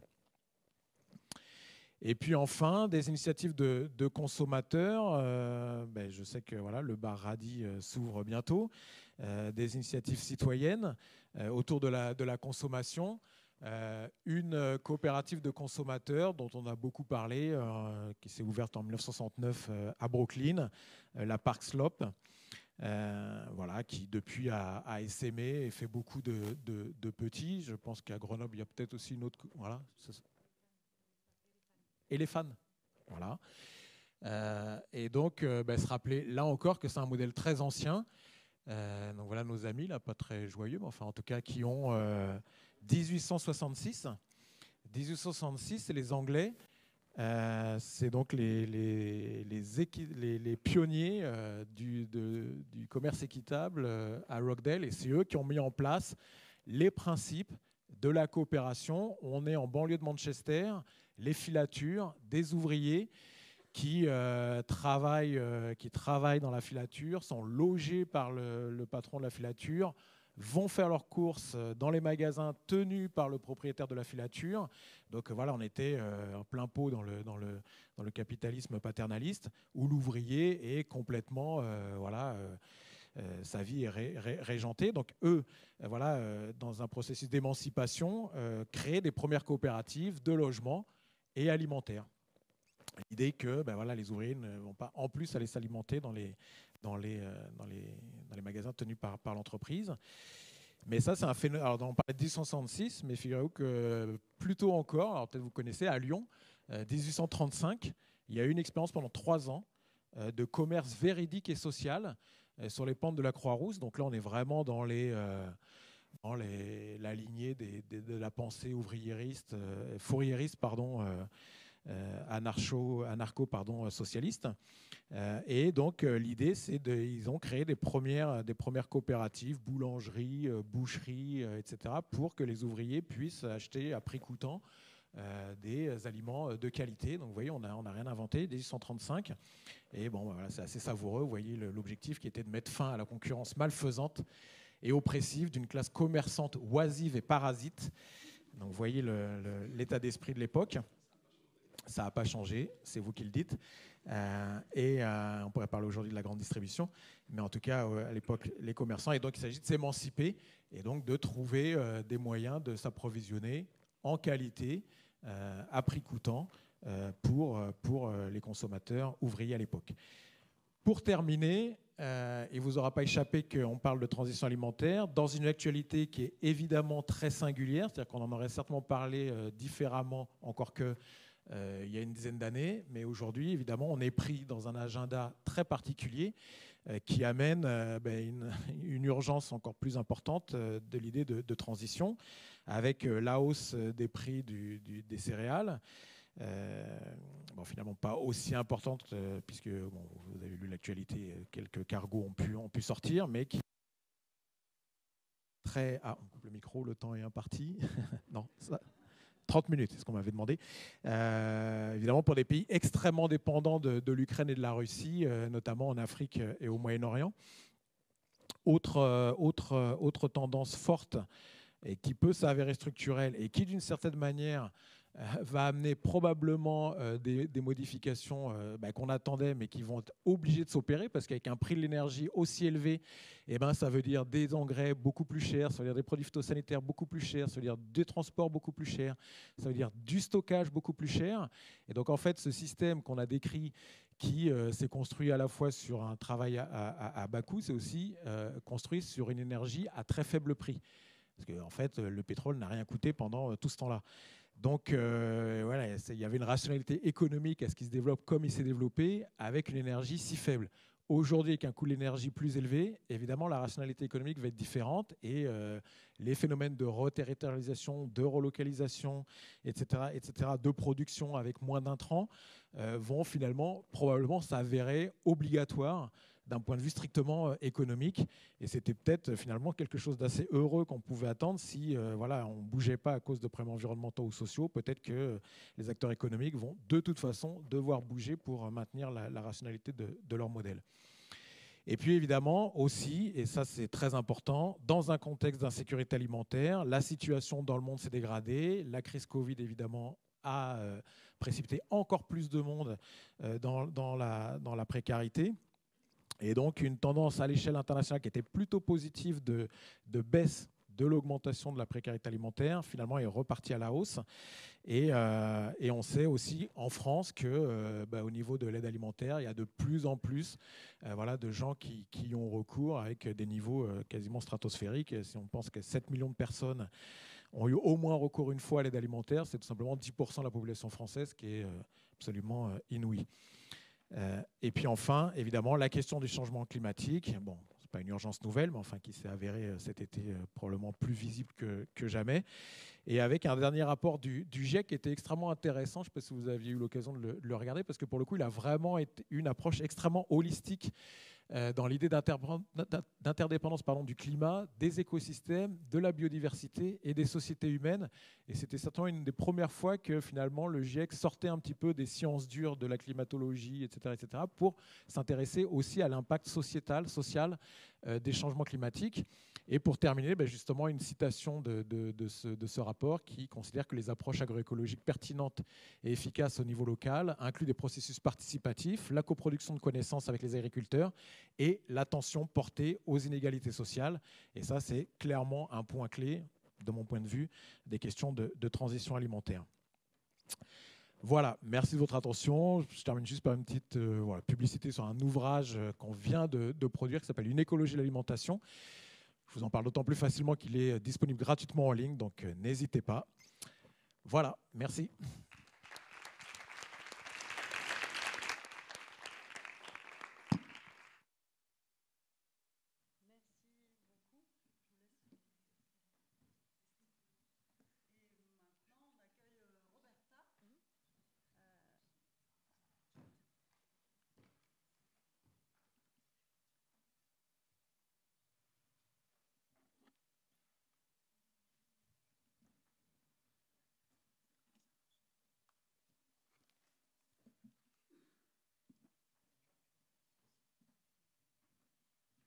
right.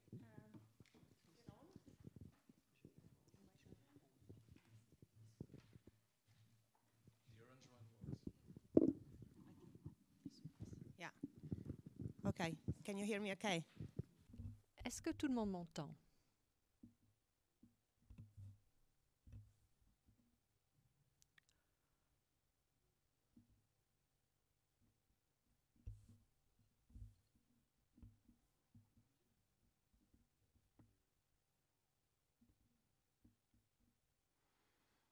Donc on va juste organiser les micros pour l'intervenante.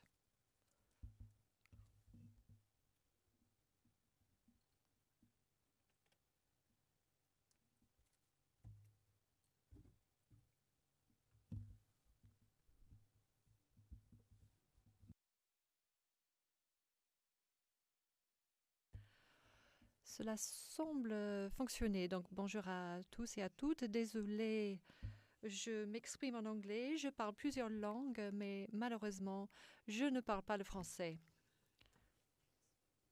Donc, merci à la ville de Grenoble de m'avoir invité à cette conférence passionnante, à ce mois d'activité passionnant. Je vais essayer de euh, parler lentement pour les interprètes. Donc, si je m'emballe, n'hésitez pas à me faire signe. Donc voilà, c'est super de voir une ville qui se concentre sur l'alimentation. Cela fait partie de ses activités euh, de végétalisation. Donc euh, les systèmes alimentaires sont au cœur de ces processus. les, aliments produits notre consommation et notre gestion du système alimentaire ont des implications profondes, pas seulement vis-à-vis de la santé des êtres humains, mais vis-à-vis de la planète elle-même. Damien, avant moi, il, a bien démontré à quel point les aliments se trouvent au centre euh, de beaucoup de défis interconnectés sociétaux. Donc, il y a des schémas de production et de consommation euh, qui euh, auront des avantages pour la société et l'économie. Voici quelques chiffres récents qui nous donnent euh, une idée de l'urgence de traiter cette question de transformation alimentaire. Les aliments traités qui ont été, enfin la priorité était sur ces aliments euh, traités, comme disait Damien, ce type d'aliments qu'on trouve euh, a des contenus très élevés en sel et sucre. Et donc, il s'agit de régimes sous-optimales. Souvent, les régimes ne sont pas très sains. Euh, et les villes en particulier souffrent de ce type d'aliments. Et parce qu'il y a des entreprises qui cherchent à faire des bénéfices. Nous avons des régimes sous-optimaux. Voici les chiffres d'un rapport qui date de l'année dernière. Donc, ces régimes sont une des causes principales de la maladie aujourd'hui. Plusieurs intervenants avant m'ont parlé, nous ont parlé euh, des systèmes, euh, des effets délétères euh, sur il y a le changement de climat. Un tiers des émissions de gaz à effet de serre provient de ce système alimentaire. Et en fait, les problèmes provoqués pour l'environnement, pour la société, pour la santé, ces problèmes-là euh, luttent contre le système alimentaire. Donc aujourd'hui, et je pense que la pandémie du Covid a donné beaucoup de visibilité à ce que je dis, Aujourd'hui, nous avons des systèmes alimentaires qui sont de plus en plus fragiles. À cause des problèmes créés, ils souffrent des conséquences de ces problèmes et les systèmes alimentaires sont euh, à, risque à cause du changement du climat. Certaines zones à travers le monde n'ont pas les bons systèmes alimentaires. Il y a également cette question de perte de biodiversité. Il y a la guerre euh, qui euh, met en danger les systèmes alimentaires. Damien en a parlé vers la fin de sa présentation. Il parlait de production céréalière, une gouvernance qui est mauvaise, euh, des déséquilibres de pouvoir. Euh, toutes ces choses-là créent des problèmes pour les systèmes alimentaires. Donc, il y a quelque chose qui est vraiment bien aujourd'hui et, et cet événement n'en est qu'un seul exemple. Aujourd'hui, les scientifiques disent ces choses depuis au moins 20-30 ans, mais personne n'a écouté. Mais aujourd'hui, enfin, euh, l'urgence est telle que les politiques commencent à écouter. Du moins, euh, il y a des papiers, des articles, des livres qui émergent, qui appellent à un système alimentaire durable. Cela doit devenir une priorité des politiques. Voici un exemple de haut niveau de ces engagements politiques vis-à-vis de systèmes alimentaires durables. Tout d'abord, euh, il y a la stratégie 2019 de la Commission européenne, de la ferme à la fourchette. Cela fait partie du Green Deal européen. Cela reconnaît l'urgence.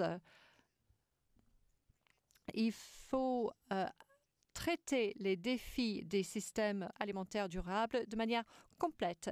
Et un autre exemple, ici à l'écran, je, ne sais, pas si vous le savez, mais l'année dernière, il y avait le premier sommet euh, sur les systèmes alimentaires euh, organisé par l'ONU. Cela a souligné le rôle d'aliments euh, plus sains pour la, la réalisation des 17 ODD. Donc, on a dit que aujourd'hui plus de 100 pays sont engagés à cette transformation de système alimentaire. Mais bien sûr, euh, traduire cet engagement en réalité va être un défi pour la plupart des pays, parce que la plupart des pays n'ont pas de politique alimentaire ou de politique de nutrition en place. Qu'est-ce qu'il faut transformer et comment? Je vais vous donner, je vais essayer de vous donner quelques exemples pratiques et concrets. Donc, je vais commencer avec quoi? Ce qu'il faut transformer. Qu'est-ce que c'est que la transformation du système alimentaire? C'est quoi cette transformation que nous euh, proposons? Eh bien, pour moi, c'est un processus de changement euh, fondamental dans les aspects structurels, fonctionnels et relationnels euh, du système alimentaire. Nous devons changer radicalement ces relations pour pouvoir avoir plus d'équité et plus de schémas équitables et euh, avantageux pour la société. Donc ce que je dis, c'est qu'il est temps de déplacer le focus. On passe de notions de productivité agricole, ces paradigmes, qui dominaient les politiques euh, vis-à-vis de l'alimentation euh, née à la fin de la Deuxième Guerre mondiale. Il faut passer de ce focus à un autre focus. Il faut prendre en compte une fourchette beaucoup plus large de préoccupations, donc des préoccupations socio-environnementales, y compris les liens entre le régime et la santé. Et comme on l'a dit à maintes reprises, il faut réduire les impacts des systèmes alimentaires sur l'environnement. Dans mon domaine, même les chercheurs, les scientifiques euh, aujourd'hui lie ce paradigme émergent de transformation du système alimentaire avec l'idée de justice socio-écologique. Donc même les scientifiques de nos jours disent que changer ces relations qui caractérisent les systèmes alimentaires, il s'agit d'un processus fondamental de la démocratisation et on doit prendre en compte également euh, la responsabilité, le pouvoir entre le secteur privé et le secteur public et la société civile. C'est facile à dire, nous sommes unanimes, nous sommes unanimes, mais c'est pas facile à faire et je sais qu'il y a plusieurs pratiquants dans cette pièce. Donc ce serait sympa d'avoir vos idées là-dessus. Pourquoi est-ce tellement difficile de changer ces relations? C'est parce qu'il ne, ne s'agit pas d'une entité linéaire et logique. C'est ce que j'ai essayé de représenter ici. Les systèmes alimentaires sont euh, très enchevêtrés. Il y a beaucoup de relations, des chevauchements d'activités et de résultats. Et le problème, c'est que même si ces relations, certaines sont visibles, transparentes et réciproques, beaucoup d'autres sont cachées, hiérarchiques et contradictoires. Donc, euh, les scientifiques, les chercheurs euh, veulent transformer ces systèmes, nous voulons changer ces systèmes, mais il faut être euh, normatif. Il faut soulever ce défi qui est énorme. Il faut définir, aider les politiques à définir quels sont les objectifs concrets de cette transformation du système alimentaire. Dans mon travail, ce qui est utile, c'est ce concept de lieu. Il faut euh, réfléchir en termes de lieu. Il faut lier euh, l'histoire d'un lieu à la transformation du système alimentaire. Pour la simple raison que le lieu, et là je parle à mes collègues ici euh, dans la pièce ou, euh, ou, en ligne, le lieu est un concept relationnel euh, avec de multiples échelles qui est produit socialement. Donc il y a beaucoup d'idées, beaucoup de caractéristiques liées au lieu qu'on peut utiliser comme levier pour la transformation du système alimentaire. Il y en a quatre dont je vais vous parler. Les quatre qui sont euh, fondamentaux, qui devraient constituer les objectifs de cette transformation. Tout d'abord, donc, un lieu est à la fois social et naturel. Lorsqu'on parle d'un lieu, on ne parle pas d'entité administrative, on parle de communauté, donc des êtres humains et des entités qui ne sont pas humaines. La société et la nature. Le lieu reconnaît la co-constitution de tout ce qui est social et tout ce qui est naturel. Le lieu n'est pas une entité fixe et statique. Un lieu, par définition, c'est un état constant de devenir et ce, ça peut nous aider à envisager des flux euh, positifs, des interactions positives, mais aussi entre les systèmes alimentaires. Et, donc, je vais expliquer ces caractéristiques euh, dans plus de détails euh, sous peu.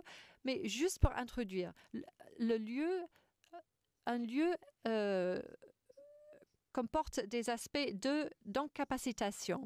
Il y a un sens de un sens progressif de lieu et, dans nos royaumes politiques on n'en parle pas, mais un sens progressif de lieu focalise l'attention sur les relations de pouvoir et la transformation alimentaire pour moi, là, il s'agit d'un processus de reconfigurer le pouvoir et les relations de pouvoir.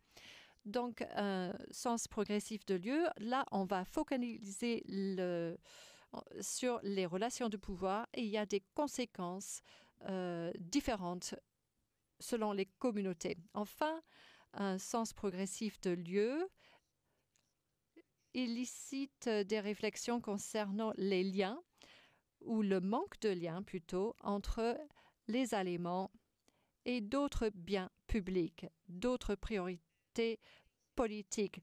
Le lieu, euh, il faut songer aux liens entre ceux que nous mangeons et comment nous mangeons. Il faut prendre en compte des problèmes de santé, de bien-être, l'environnement et l'État-providence. Donc, dans mon travail, j'ai traduit ces quatre propriétés en un cadre. Un cadre, et j'espère que ce cadre va vous inspirer, euh, certains d'entre vous, même si vous voulez juste analyser la transformation de système alimentaire, ou vous voulez suivre les progrès, ou vous voulez mettre en œuvre le système, ces quatre caractéristiques constituent l'épine dorsale de ce cadre. Voici le cadre, donc le cadre clic. Ce cadre nous dit ce qu'il faut transformer et comment. Pour moi, il y a quatre objectifs interliés. Et quand je dis nous, nous devons euh, atteindre ces objectifs. Je parle de moi en tant que scientifique, en tant que chercheur, mais c'est la même chose pour les décideurs et pour les citoyens, pourquoi pas. Donc, vous voulez contribuer à ce défi, il faut que tout le monde soit embarqué. Il faut vous poser la question lorsque vous mettez en œuvre un changement d'habitude au sein de votre royaume, vous devez vous poser la question, est-ce que cela clique Clic veut dire co-bénéfice, lien, inclusion et connectivité. Donc, euh, co-bénéfice. Il faut être sûr que les activités qui euh, produisent des bénéfices dans une dimension économique ou environnementale ou sociale ne vont pas forcément produire euh, une détérioration dans d'autres domaines. Les liens ça, c'est l'aspect territorial de cette transformation des systèmes alimentaires. C'est ce que disait Damien lorsqu'il parlait de débat euh, concernant l'organisation. Les liens, euh, c'est l'importance d'établir ou de renforcer des relations plus durables entre les lieux et surtout euh, entre le lieu urbain et le lieu rural. Et je vais revenir là-dessus. Le I, là, il s'agit d'inclusion et inclusion sociale, spécial. Et là, on revient à cette idée de pouvoir, euh, de relation de pouvoir euh, liée au système alimentaire. Il faut trouver le courage à traiter euh, cette question d'inclusion. Il faut avoir des systèmes inclusifs qui prennent en compte les communautés vulnérables. Il faut faire attention à leurs besoins, mais aussi, et je vais revenir à cela tout à l'heure, à leurs connaissances. Et ensuite, le cadre clic, c'est inspirationnel. Il faut penser en termes de connectivité. Il faut engager dans, il faut s'engager dans les tout ce qui est rigide, tout ce qui est euh, partagé, euh, divisé. Il faut penser à, euh, aux choses qui ont gêné des actions coordonnées pour la transformation. Donc les connectivités, c'est une invitation tout simplement pour surmonter la façon euh, qu'on a de travailler en silo. Et je vais passer en revue ces quatre objectifs parce que pour moi, il s'agit des quatre points qui forment euh, l'épine dorsale de ce que nous essayons de faire. L'éco-bénéfice, qu'est-ce que ça veut dire? Ça veut dire créer des synergies entre différents objectifs euh, économiques, environnementaux et sociaux. Donc, il faut tout d'abord reconnaître que les stratégies de durabilité ayant des objectifs économiques, écologiques et sociaux, souvent euh, et très souvent impactent d'autres parties du système ou d'autres systèmes de manière positive ou négative. Si l'impact est positif, si ce que je fais, mon initiative, ma politique produit un impact positif, je livre des co-bénéfices. Donc on peut avoir une initiative écologique qui profite euh, l'économie, par exemple. Donc, c'est ça le co-bénéfice. Mais si l'impact est négatif, là, il faut des compromis. Donc, il faut essayer de réfléchir à des activités, à des actions pour pouvoir euh, maximiser les bénéfices et minimiser les compromis. Voici un exemple simple, et, on en a déjà parlé, l'agriculture urbaine. L'agriculture urbaine dans sa meilleure forme, et ce n'est pas toujours le cas, mais en théorie, c'est le type d'activité qui produit des bénéfices économiques, écologiques et sociaux. Cela crée de l'emploi.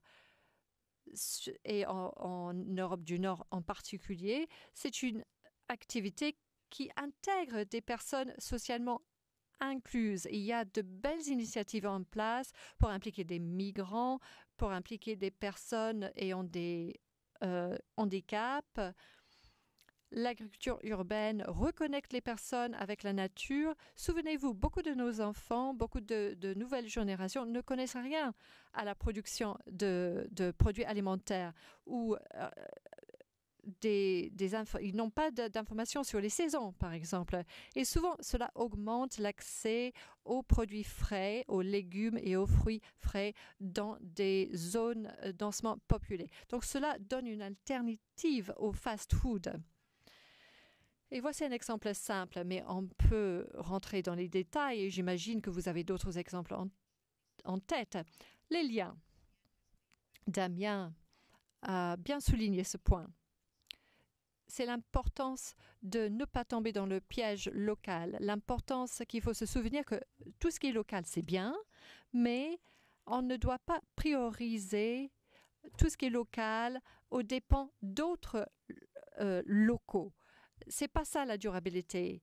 Il ne faut pas adopter des tendances de défense parce que souvent, euh, euh, c'est ce qu'on voit de nos jours. Il faut se souvenir que lorsque nous mettons en œuvre des processus transformatifs, il ne faut pas être exclusif d'un point de vue territorial et, voici un exemple. Et je pense que la France agit bien dans ce, dans ce domaine. C'est plutôt euh, comme pour des pays comme le Royaume-Uni. Mais la région ville, il faut penser en termes de région ville. Il faut reconnaître qu'il y a des réseaux euh, d'interdépendance entre la ville et euh, le, la zone rurale. Et c'est ce que Damien appelait le métabolisme urbain. Et cette séparation rural, urbain est artificielle. Cela a été introduit euh, euh, après la Deuxième Guerre mondiale pour euh, garantir que les zones urbaines, rurales pardon, puissent continuer à produire des aliments. Alors, les liens. Quels sont les exemples d'activités qu'on peut développer ou prioriser pour renforcer cet aspect territorial de la transformation de système alimentaire? Là, je pense à des circuits alternatifs, les marchés grossistes, les marchés euh, fermiers, des euh, systèmes euh, de, paniers. Euh, qui connecte tout ce qui est rural avec tout ce qui est urbain.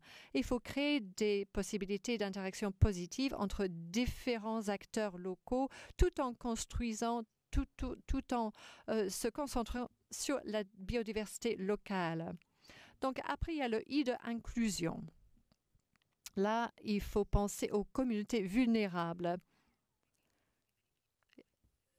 Grenoble est impliqué dans le projet Food Trail. Moi, j'ai écrit ce projet, mais pas beaucoup de gens le savent. Le savent. Food Trail, c'est un labo, un living lab, et presque toutes les villes en Europe disposent d'un living lab, un laboratoire vivant. Mais il faut commencer à se poser des questions. Qui ne participe pas à ces laboratoires vivants? Parce que dans mon expérience, c'est toujours les mêmes qui viennent participer à une expérience de labo vivant. Et vous savez, l'ironie concerne qui ne participe pas, les plus puissants ne participent pas et les moins puissants ne participent pas. Et donc, on a peu de représentants du secteur privé qui viennent nous voir. C'est difficile de les impliquer et il y a peu de personnes marginalisées qui viennent participer à ces laboratoires. Donc il faut faire un effort à partir d'aujourd'hui, il faut essayer d'attirer ces deux groupes de parties prenantes qui jouent un rôle vital. Le secteur privé en termes de renforcement de compétences et en termes d'investissement de ressources est important.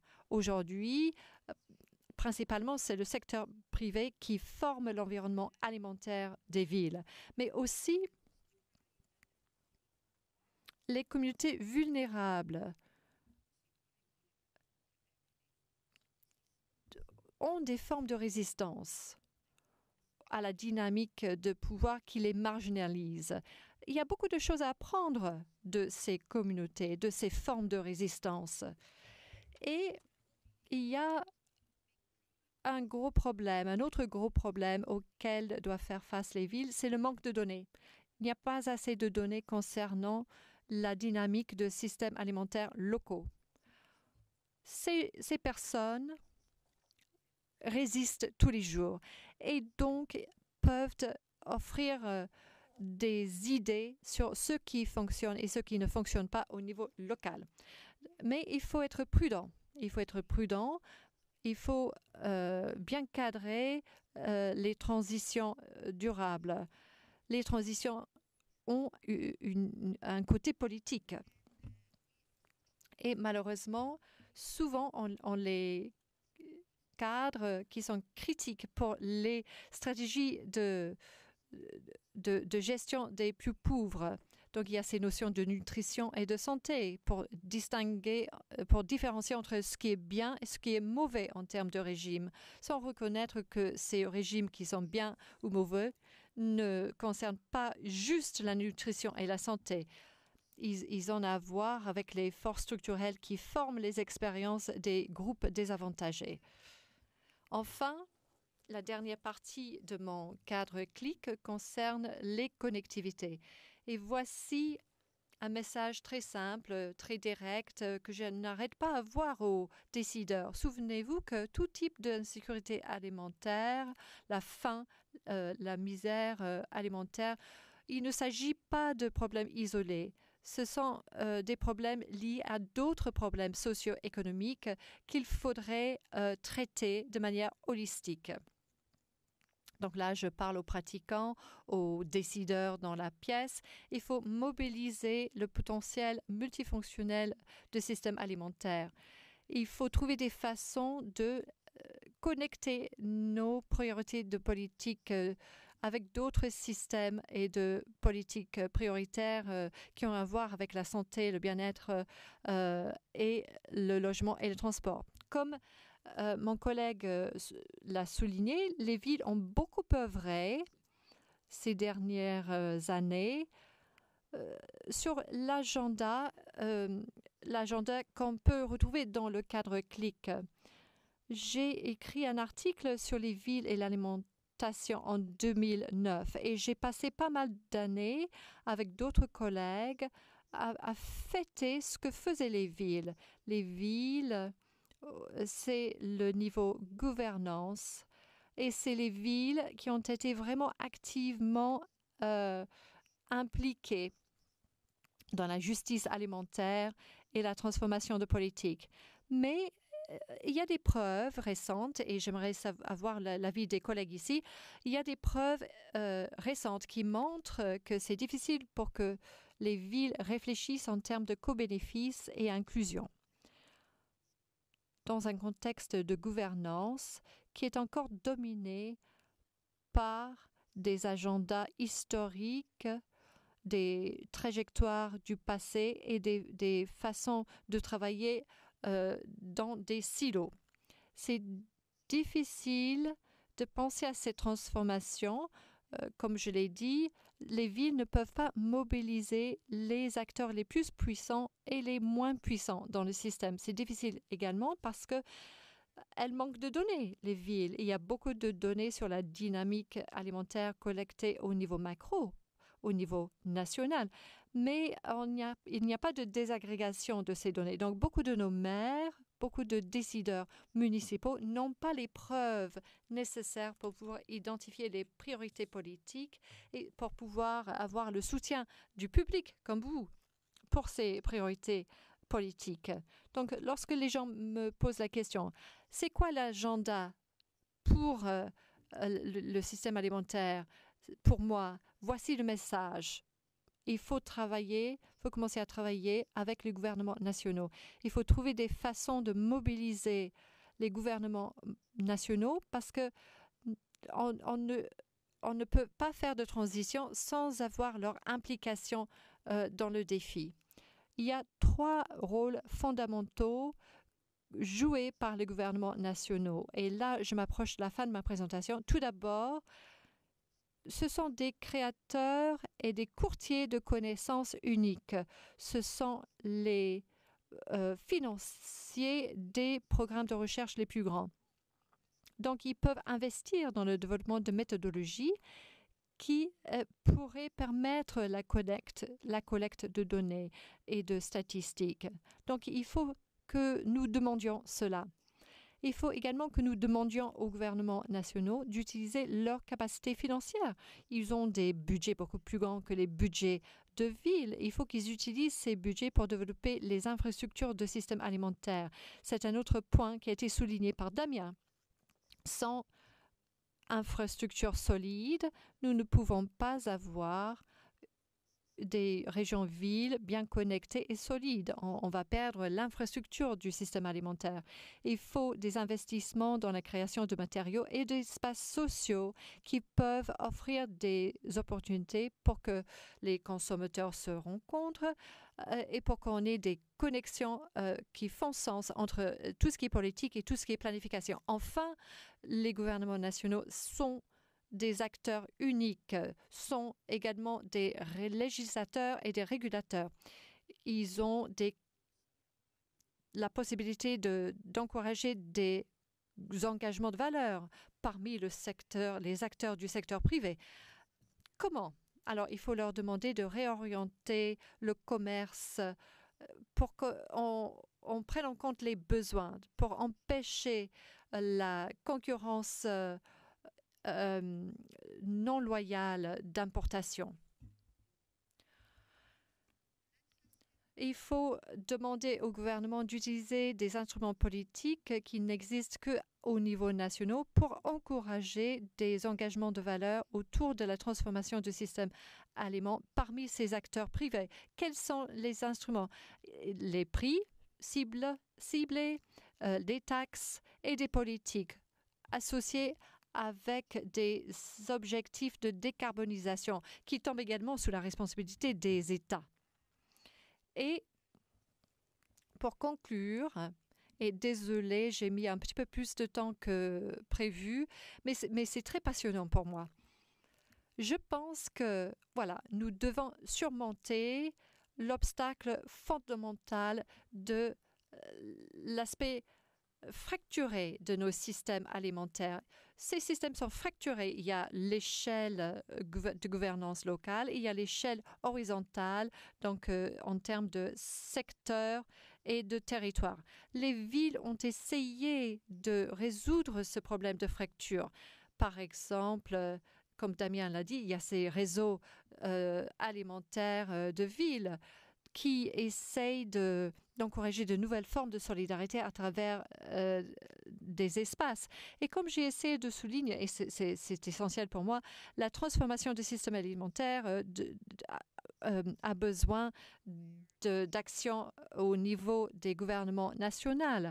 Les gouvernements sont bien placés pour encourager et pour faire durer l'étape suivante de forme très forte de collaboration qui traverse les disciplines. C'est important pour nous en tant que scientifiques, mais aussi pour des groupes d'intérêt euh, des circonscriptions et euh, les gouvernements. Donc, je vous laisse avec euh, cette diapositive finale, avec cette citation d'un de, de mes articles, avec deux mots-clés qui sont importants. Il faut s'en souvenir il y a l'aspect polycentrique et l'aspect euh, plurivocal. Ce sont des termes techniques, mais leur signification est assez euh, euh, compréhensible.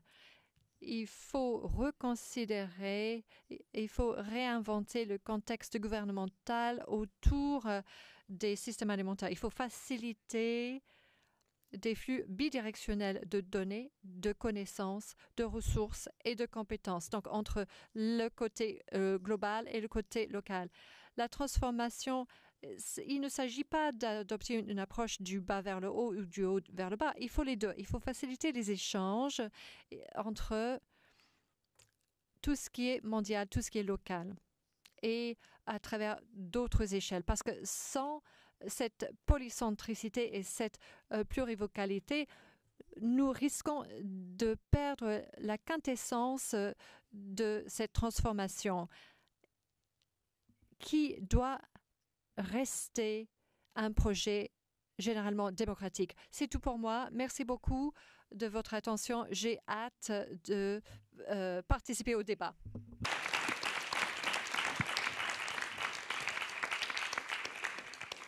Thank you very much, Roberta. Euh, Damien, je vous laisse euh, vous installer. Euh. Merci beaucoup. Alors peut-être avant d'ouvrir euh, le débat et les questions euh, au public à la salle et bien sûr aussi aux personnes qui nous écoutent en ligne, euh, vous pouvez poser des questions sur le chat qui vont être centralisées et regroupées, puis on les prendra dans un second temps. Donc n'hésitez pas aussi les personnes qui nous écoutent en ligne à poser vos questions, poster vos commentaires également sur, sur la plateforme. Alors, il y a une question euh, peut-être sur laquelle j'aimerais revenir. On a parlé euh, avec euh, vos deux présentations, bien sûr, du, niveau, enfin des collectivités territoriales, de, la question de la place des villes. Et c'est bien sûr une question importante et je pense qu'on va y revenir aussi dans le débat et la discussion. Mais avant ça, j'aurais aimé peut-être vous poser la question des autres échelles de gouvernance, peut-être dont on a un petit peu moins parlé aujourd'hui, que sont les échelles internationales et européennes euh, et sur la façon dont, euh, dont ces niveaux de gouvernement peuvent, doivent euh, bah, changer aussi les, régulations, les législations, de manière à permettre aux autres niveaux de gouvernement, au niveau national, au niveau locaux, euh, de pouvoir euh, mettre en œuvre, proposer des solutions qui permettent aussi de changer le comportement. Et je ne pense pas tellement au comportement euh, des citoyens et des consommateurs, mais je pense surtout au comportement des acteurs privés, des grandes entreprises, de la grande distribution. Quels sont pour vous, est-ce que dans vos travaux, dans vos expériences, vous avez pu identifier des instruments qui doivent être euh, hmm, bah, proposés ou renforcés au niveau international et au niveau européen particulièrement euh, pour permettre ensuite euh, bah, d'augmenter la marge d'action des niveaux nationaux et locaux de gouvernance. Merci. Bah, effectivement, et puis Roberta vient de conclure justement là-dessus, sur l'idée de ne pas rester à l'échelle locale, mais convoquer le, national, et évidemment, dans notre cas, en, Europe, euh, l'échelle européenne, très clairement, puisque on l'a assez peu évoqué, mais enfin, quand même, notre système alimentaire est d'abord et avant tout gouverné par la politique agricole commune, qui est l'instrument euh, majeur euh, dans nos contrées pour organiser notre système alimentaire. Donc euh, effectivement, sur le point de, toutes ces collectivités, toutes ces régions urbaines, euh, pour reprendre le terme de City Food Region, qui organisent l'agriculture et l'alimentation sur leur territoire, euh, il y a un moment, il faut aussi relativiser en fait l'effet de, ce dont on parle. il se rappelait qu'en tout cas en France, encore 80% des achats alimentaires sont faits dans la grande distribution. Et quand on parle d'installer euh, des agriculteurs sur du foncier euh, euh, appartenant à une métropole, c'est très bien, c'est très encourageant, c'est une dynamique, mais ça demeure encore très marginal par rapport, j'allais dire, au, régime alimentaire du, de l'habitant de, ce territoire. pareil sur les, cantines scolaires. bon, je vous ai montré l'exemple de, Montpellier qui certainement a fait le, mieux en matière de restauration scolaire et je le dis à Grenoble. Euh, en l'occurrence, on a fait un calcul un peu déprimant qui est de se dire, bon ben voilà, il y a le nombre d'élèves qui sont concernés, si on enlève le week-end, le repas du soir, les vacances, et que finalement on considère la population dans son ensemble, on arrivait à un chiffre que j'ose même pas vous dire, euh, de 2% ben, euh, des repas pris par les habitants de Montpellier via la restauration scolaire. Alors attention, il ne s'agit pas de relativiser, ça reste un outil parce que bah, c'est évidemment nos, prochains citoyens, et puis ça permet d'organiser des filières euh, sur les territoires, d'organiser des infrastructures, donc en ça c'est extrêmement puissant, mais il convient quand même largement de relativiser en quoi ça concerne l'ensemble des habitants. Donc du coup, effectivement, euh, ne pas rester focalisé et concentré sur cette échelle, ce qui veut dire de monter au national, mais surtout, encore une fois, à l'échelle européenne, et, euh, cette fameuse et satanée politique agricole commune qui n'arrive pas, enfin, qu'on n'arrive toujours pas à réformer cette année après cette année, euh, bien que, et ça a été aussi cité, il y a eu cette, euh, par le Parlement européen ce fabuleux document, Farm to Fork, qui est une stratégie extrêmement volontaire, avec des objectifs extrêmement précis en termes de baisse d'utilisation, par exemple, de, produits d'engrais et de phytosanitaires, d'augmentation du bio, et qui malheureusement ne s'est pas imposé euh, au sein de la, Commission européenne, même si on continue de s'y référer, comme quoi ça a été un document très puissant, parce que même le ministère de l'Agriculture aujourd'hui nous dit que bon, on laisse Farm to Fork de côté, donc ce qui veut dire qu'il a il est obligé de se positionner par rapport à finalement un document qui était, euh, puissant. Et juste terminerai là-dessus, pardon, mais euh, on était réunis euh, il n'y a pas longtemps à Nantes pour des assises des territoires très nationales en France, donc une somme de territoires comme Grenoble, Montpellier, évidemment tous les territoires en, France, se réunir pour échanger des pratiques. notamment. Et ben, justement, il y a eu l'idée de politiser ce moment très fort pour justement influer, faire du lobbying à des échelles qui nous dépassent, nationales ou européennes, à travers une, déclaration de Nantes, euh, voilà, pour marquer le moment politique de, l'ensemble de, ces territoires. Merci.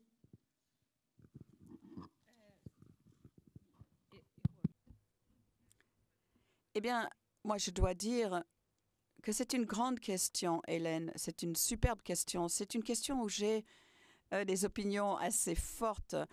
Moi, je pense qu'au niveau global, beaucoup de choses se passent et au niveau local, euh, beaucoup de choses se passent. Et il faut se souvenir quel est le rôle des différentes échelles de gouvernance. Donc la stratégie de la ferme à la fourchette, c'est un bel exemple d'une action qui focalise sur ce que le global devrait faire, c'est-à-dire de créer un environnement pour faciliter l'action.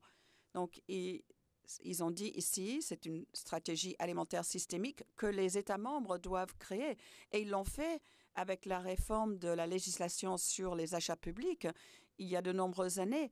Et c'était vraiment une réforme verte de la législation d'achat public européen. Ensuite, on avait des pays comme l'Italie et la France qui ont vraiment profité de cet environnement euh, créé par ces directives vertes, et d'autres pays comme le Royaume-Uni qui les ont systématiquement ignorés. Donc il ne s'agit pas que le global ne fait pas suffisamment. Le global fait ce qu'il doit faire, il crée cet environnement euh, qui permet les choses et le local agit comme il doit agir aussi parce que ce sont les villes qui vivent, euh, en fait les maires des villes euh, rencontrent ces problèmes quotidiens créés par un système non durable alimentaire. Cela devient visible dans la ville et cela augmente l'action les villes ont inventé ces conseils de politique alimentaire et les villes ont ces projets pour éduquer et sensibiliser les citoyens. Alors, lorsqu'il s'agit de voir ce que font les différents niveaux, je pense que le local et le global sont euh, très actifs. Mais moi, ce qui me frappe, c'est le silence frappant des gouvernements nationaux sur ces questions et le manque d'utilisation de politique, instrument de politique très fort. Ces accords commerciaux, pourquoi faire beaucoup d'efforts pour investir beaucoup d'énergie et de ressources pour développer des, supply chains courts autour de Grenoble lorsque ensuite euh, vous allez avoir un accord commercial qui facilite l'importation de viande euh, peu chère du Brésil? Comment est-ce que les circuits courts et les acteurs dans ce euh, supply chain court pourront concurrencer cette viande pas chère? Donc ce sont les gouvernements nationaux qui, pour moi, ne font rien. Les autres sont très actifs et il faut en profiter et vraiment profiter de ces activités aussi de, la question du code des marchés publics et j'aimerais aussi peut-être bah, continuer un petit peu sur, la, ce niveau européen et sur l'articulation entre d'un côté cette euh, stratégie Farm to Fork et de l'autre côté la politique agricole commune, euh, comme vous l'avez rappelé euh, tout à l'heure, mais aussi le contexte en fait européen de la concurrence libre et, non faussée et du code des marchés publics qui contraint aussi euh, beaucoup les niveaux de gouvernement. Alors peut-être j'entends Roberta aussi dans votre réponse que c'est au, niveau national de prendre en charge cette question-là, non seulement au niveau national, mais aussi au niveau européen. Et c'est bien aussi euh, les, États, les chefs d'État et de gouvernement, les, ministres, euh, et pas seulement, bien sûr, aussi les députés européens, mais de pouvoir aussi euh, bah, s'atteler avec au niveau européen à euh, produire euh, de nouvelles euh, réglementations. Est-ce que vous, avez peut-être identifié des manières ou des stratégies politiques qui pourraient être menées dans le contexte européen aujourd'hui et dans le contexte politique européen aujourd'hui pour agir sur ces leviers-là et pas seulement sur la stratégie Farm to Fork, mais aussi sur la question de la concurrence dans un contexte européen et sur la question de la politique agricole commune? Alors, c'est une vaste question, un vaste sujet, puisque, moi, en tant qu'élu, je, reçois euh, très, très, très régulièrement des directives du ministère de l'Agriculture qui, euh, euh, nous sommes de consommer local, sauf que, eh bien, on n'en a pas les moyens et on se met dans l'illégalité dès lors qu'on on inscrit un critère dans notre cahier des charges qui serait un critère de localité, qui est un critère tout à fait discriminant. Du coup, euh, on est un certain nombre de collectivités à, bosser sur la question. Hein. Et euh, la solution qu'on trouve, nous, pour, euh, être conforme à, nos objectifs politiques, hein, et, de politique publique sur l'alimentation, c'est de surcharger nos services, puisque vous savez que passer en dessous d'un certain montant, nous ne sommes pas obligés de passer par euh, les marchés publics. Du coup, ça veut dire que euh, du côté de nos services, on demande à nos agents euh, et nos services juridiques d'allotir les marchés. Ce qui fait que plutôt que d'avoir un marché à un million d'euros, on va avoir X marchés à, moins de 40 000. ça alourdit, ça demande de la logistique, on en a parlé. Enfin, là, c'est hyper compliqué. Euh, le levier d'action, alors il y a, l'allotissement, mais il y a aussi euh, comment, euh, comment les décideurs s'organisent pour interpeller, pour interpeller le ministère. Et, voilà, il y, a plein de choses, enfin tous les jours, il y a plein de choses qui, sortent sur le sujet. Malgré tout, ça, ça ne fonctionne pas. je crois qu'il y a pas moins de 200 maires et d'élus, en tout cas de gens euh, qui euh, bossent sur la question alimentaire, qui ont signé la fameuse tribune sur l'exception alimentaire. Pas d'écho, euh, pas de répondants, pas de. Donc on continue à, se mobiliser. Alors on aimerait bien être plus entendu, et puis peut-être qu'il faut aller à la rencontre des députés européens qui pourraient porter cette voie-là. On en a parlé à Nantes hein, lors de la déclaration de Nantes. Enfin, il y, a, tout un écosystème qui s'organise autour de la question de l'alimentation et de la, des politiques publiques de l'alimentation. On est nombreux, on est actifs, euh, on a plein d'idées, il y a plein de choses qui se font sur tous les territoires, mais malgré ça, on n'a pas d'écho.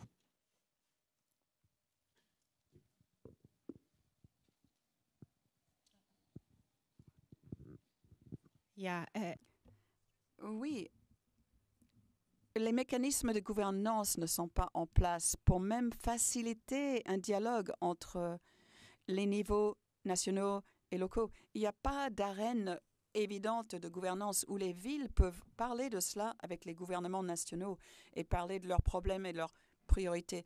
Si on laisse cela dans les mains de Grenoble seul, ils ne pourront jamais euh, pouvoir mobiliser le gouvernement national français. Donc il faut être créatif euh, lorsqu'il faut reconfigurer le contexte du gouvernement national. Bien sûr, il faut que nos politiques soient créatives. Et bien sûr, les achats publics, c'est un problème. Et, mais moi, je suis experte en achats publics et j'ai même écrit un livre sur euh, les cantines scolaires. Mais on n'a pas le droit, effectivement, d'utiliser le mot local dans vos appels d'offres parce que cela euh, va à l'encontre du modèle euh, du marché unique et la transparence de la Commission européenne. Mais effectivement, de façon créative, vous pouvez fournir euh, de l'alimentation locale. Par exemple, à Rome, ils ont introduit un critère qui s'appelle la garantie fraîcheur. Et si vous voulez que vos fournisseurs garantissent la fraîcheur du produit, eh bien, probablement, le produit sera produit localement. Donc, il faut être créatif, il faut échanger des bonnes pratiques et des solutions dès qu'on les trouve. C'est très important que les villes continuent à avoir des possibilités d'échanger les meilleures pratiques, les solutions, les leçons apprises. Mais oui, le lobbying au niveau européen avec les parlementaires européens, ça pourrait être une excellente stratégie. Les gouvernements nationaux changent souvent. Donc, il y a peut-être un peu plus de stabilité et un peu plus de proximité au message vert de la Commission européenne au niveau européen. Donc oui, euh, je suis d'accord, le lobbying avec, euh, au niveau européen serait intéressant. On m'a invité à parler au Parlement européen en 2018 et je suis allée parler de l'alimentation urbaine, mais ils m'ont pas écouté, mais je continue à essayer. On a aussi parlé, dans, dans, vos interventions, vous, vous, avez mentionné en fait le, foisonnement euh, d'expériences alternatives, d'initiatives euh, citoyennes euh, de la part des consommateurs, des citoyens. vous avez aussi parlé d'initiatives politiques locales, évidemment. Mais comment est-ce que ces initiatives, est-ce que ces expériences alternatives, elles restent quand même relativement marginales dans la globalité du système alimentaire mondial? Comment est-ce que vous pouvez identifier des leviers, toujours aussi pour euh, bah, vraiment mettre, l'accent sur une des problématiques de la conférence d'aujourd'hui, qui était sur l'opérationnalisation de, ces transitions. Est-ce que vous avez pu euh, identifier des manières de, enfin, comment on peut rendre ces expériences alternatives de plus en plus nombreuses, de plus en plus importantes politiquement, et qu'elles ne laissent plus le choix euh, aux acteurs politiques et aux acteurs, euh, et aux acteurs euh, privés de la production, de la distribution, de la transformation, euh, pour enfin passer à un autre modèle et prendre le pas sur, sur le système conventionnel. Est-ce qu'il y a aussi peut-être des, des, exemples de, de trajectoires particulières dans les transitions ou dans les changements de, de système que vous auriez pu identifier euh, qui pourraient être aussi euh, utilisés comme euh, des, enfin, dans, les comparaisons pour susciter aussi ce, changement d'équilibre entre les pouvoirs. Bah, vaste question. en l'occurrence, moi, je ne parlerai pas de transition d'un modèle vers un autre. C'est-à-dire, je ne crois pas qu'on va transitionner d'un modèle vers un autre, mais peut-être vers d'autres modèles. Euh, euh, et le fait est que la complication, c'est qu'on ait pris euh, ce que les chercheurs appellent un, sentier de dépendance. C'est-à-dire qu'effectivement, ce modèle qui a eu sa, raison d'être, sa rationalité, ses succès, et son succès, hein, il faut aussi le reconnaître. en l'occurrence, on a globalement, possiblement, évidemment, tous accès à une alimentation, certes pas de très grande qualité, mais à bas prix, et, et, en tout cas de bonne qualité sanitaire, puisqu'on ne meurt plus aujourd'hui de notre alimentation, comme c'était le cas, la première cause de mortalité au début du du XXe siècle. Encore que maintenant, c'est à la limite, on mourrait, plutôt d'une mauvaise alimentation, mais enfin, en tout cas, pas d'empoisonnement. Bon, toujours est-il que, euh, voilà, je ne vais pas revenir sur toutes les limites, euh, mais euh, évidemment, du coup, on est sur un sentier de dépendance où ben, ce système, il s'est développé avec une, politique, une politique publique, avec un, appareil de recherche, avec des financements de banques, etc., etc. Et donc, évidemment, il y a beaucoup, beaucoup de verrous qui referment ce, système. Donc il faut les faire voilà, casser les uns les, uns les autres. en l'occurrence, effectivement, le, relais par des politiques publiques nationales, et c'est vrai que je citais le, cas du Brésil sur une politique ciblée de, de solidarité avec les plus vulnérables, c'est avéré pour le coup une transformation patente et remarquable. Euh, dans le sens où en plus ça s'est accompagné d'un certain nombre de, soutiens à des formes d'agroécologie euh, qui font que voilà, un, système un autre système a pu euh, survivre et même se développer aux côtés d'un système, pour le coup au Brésil, très agro-industrialisé. mais si on parle toujours sur ces questions de solidarité alimentaire, évidemment elles sont chaudes à mon esprit, puisqu'on avait une réunion sur ces questions à Montpellier, on a réuni à la fois des chercheurs et des praticiens sur ces questions-là. Euh, ben, d'abord, il y a l'idée, et un certain nombre de porteurs de projets nous disent on en a marre d'être des alternatives. Nous ne sommes pas des alternatives. Voilà. Euh, nous sommes l'avant-garde ou nous sommes euh, la nouveauté. Mais nous ne sommes pas des alternatives. Nous sommes ce qui devrait être, en fait. voilà. Donc, bon, ben, on sait qu'on a un système en France concernant l'aide alimentaire qui est un système qui a été créé au milieu des années 80 qui répondait à une urgence et qui finalement est devenu un système structurel d'aide en nature. Mais ce système-là, euh, ben voilà, il y a beaucoup, beaucoup, beaucoup d'autres, euh, façons d'envisager la solidarité euh, avec, les plus vulnérables, à travers, voilà, je parle du, bar radis, mais à travers plein d'autres initiatives, à travers éventuellement quelque chose qui serait plus structurant, qui serait une solidarité sociale de l'alimentation qui pourrait être mise euh, euh, en place à l'échelle nationale et qui serait une vraie transformation par rapport à ce qu'on a connu. Et une transformation puissante. C'est aujourd'hui absolument évident qu'on a une sécurité sociale de la santé, on ne se pose plus la question, on va chez le médecin ou pharmacien avec sa carte vitale et éventuellement sa carte bleue, mais on nous demande d'abord notre carte vitale. Euh, c'est un système universaliste, mais ça nous paraît absolument évident qu'on peut tous en bénéficier. Voilà, on vit avec, c'est une évidence, c'était loin d'être une évidence, c'est 1949, euh, début du 20e, ou dans bien d'autres pays au monde, c'est absolument pas évident. Ça s'est imposé comme une évidence, c'est un système, un, système, un système conventionnel. Et ben demain, qu'il y ait une sécurité sociale de l'alimentation, tout comme une sécurité sociale de la santé, pourrait tout à fait être conventionnelle et s'imposer euh, comme une politique publique de solidarité autour de l'alimentation. Merci beaucoup. Juste pour compléter, moi je ne sais pas dire si euh, c'est marginal ou pas, parce que j'ai l'impression qu'il y a quand même euh, plein de plein d'initiatives euh, partout en France sur ces questions-là. Il y a de plus en plus de, métropoles et de villes qui se mobilisent sur ces questions-là. Et puis sur sur des sur des exemples qui pourraient s'aimer, hein, nous on a notre belle horizonte en France, hein, c'est un Montsartou avec un projet hyper vertueux où euh, bah voilà, euh, la ville a préempté euh, des terrains, il y a installé des, agriculteurs qui sont des agents du service public et qui permettent de nourrir à 97% les cantines scolaires. Alors ça règle pas la question de, du reste de la population parce que comme le disait Damien tout à l'heure, globalement ça représente peu de mangeurs, mais à côté de ça, rien que le fait d'avoir sur son territoire euh, cette ferme euh, municipale, ça vient inciter aussi euh, les habitants de Montsartou à consommer autrement et à aborder la question de l'alimentation autrement. Je crois que c'est une des, c'est pas une grosse ville, hein, c'est une des communes où il y a de nombreux, de nombreux marchés euh, de plein vent, où il y a de nombreux euh, magasins euh, de vrac. Et du coup, c'est devenu une politique publique qui concerne des acteurs privés de l'alimentation. Et, encore une fois, cette, cette action de, cercle vertueux, c'est venu provoquer chez les habitants un autre modèle possible.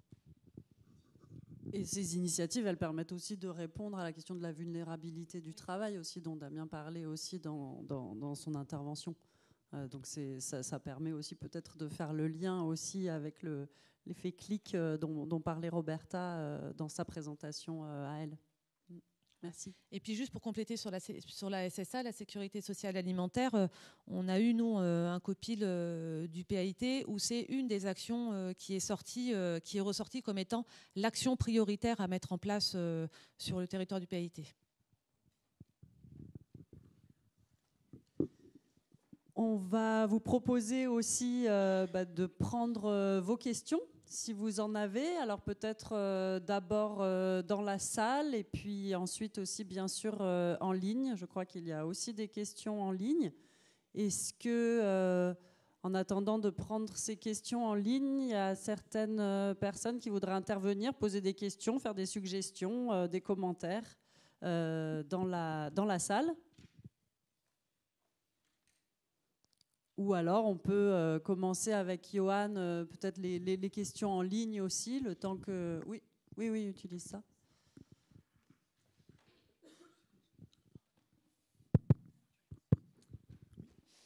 Euh, alors il y a une première question plutôt pour Roberta concernant l'inclusion du, clic. en ce qui concerne, est-ce que vous pourriez développer les, formes de, résistance des plus vulnérables? Et euh, en particulier les idées qui fonctionnent et celles qui ne fonctionnent pas. Voilà, ça c'était une première question dans le chat.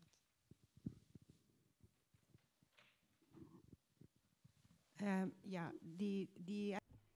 eh bien, les formes euh, quotidiennes de résistance, je pense qu'on en a vu beaucoup, surtout pendant la pandémie. Les frigos communautaires dans les endroits, dans les quartiers défavorisés, où les gens partagent de la nourriture qui va bientôt expirer pour être sûr de ne pas le jeter. Il y a des applications avec le même. Euh, ils ont créé quatre applications pour le partage de tout ce qui est disponible avant les dates d'expiration. Ils ont créé aussi. Et vraiment du bas vers le haut, ils ont des initiatives qui visent à partager ce qu'ils ont. Ils ont des activités de euh, repas euh, ensemble dans les quartiers défavorisés.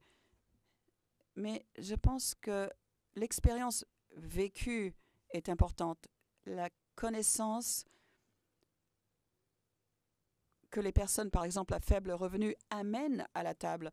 La transformation du système alimentaire, pour moi, je l'ai dit et j'avais pas le temps effectivement de rentrer dans ce détail, mais cela demande une intégration de différents types de savoirs.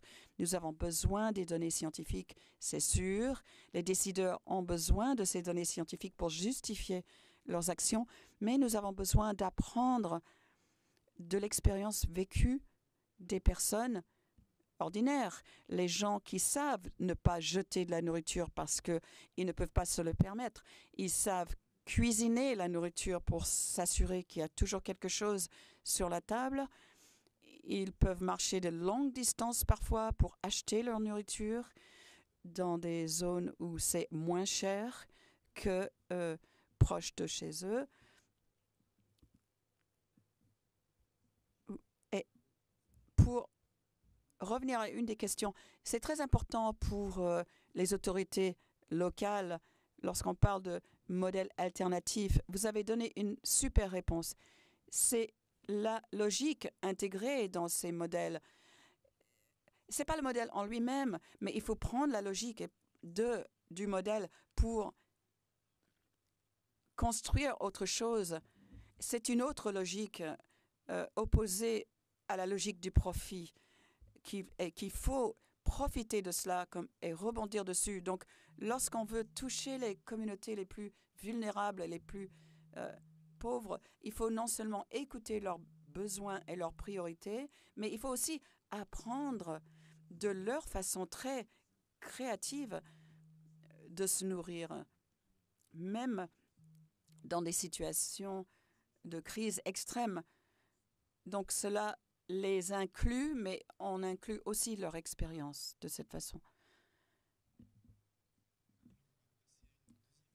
Dans le chat, euh, cette fois-ci concernant les deux intervenants euh, sur le sujet du, foncier, est-ce que vous, pourriez évoquer des, euh, des exemples d'utilisation du foncier par les citoyens?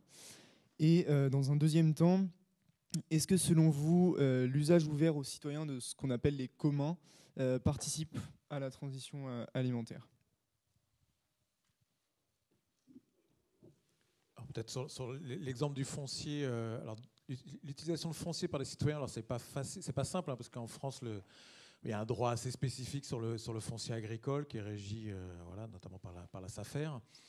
Donc en fait, ce qui, ce qui s'opère beaucoup dans des collectivités, enfin, désolé, je retombe sur le cas de, Montpellier. Effectivement, la métropole de Montpellier était, enfin, est propriétaire d'un certain nombre de, voilà, de domaines agricoles sur son territoire et du coup a lancé, comme Nantes l'avait fait aussi, des appels, des appels à projets pour que du coup des citoyens, potentiels agriculteurs, répondent sur des projets d'installation sur ces terres agricoles, où en général ils ont des facilités d'installation, soit du coût du loyer, soit euh, voilà, la, collectivité va aider à l'arrivée d'eau, etc., euh, etc.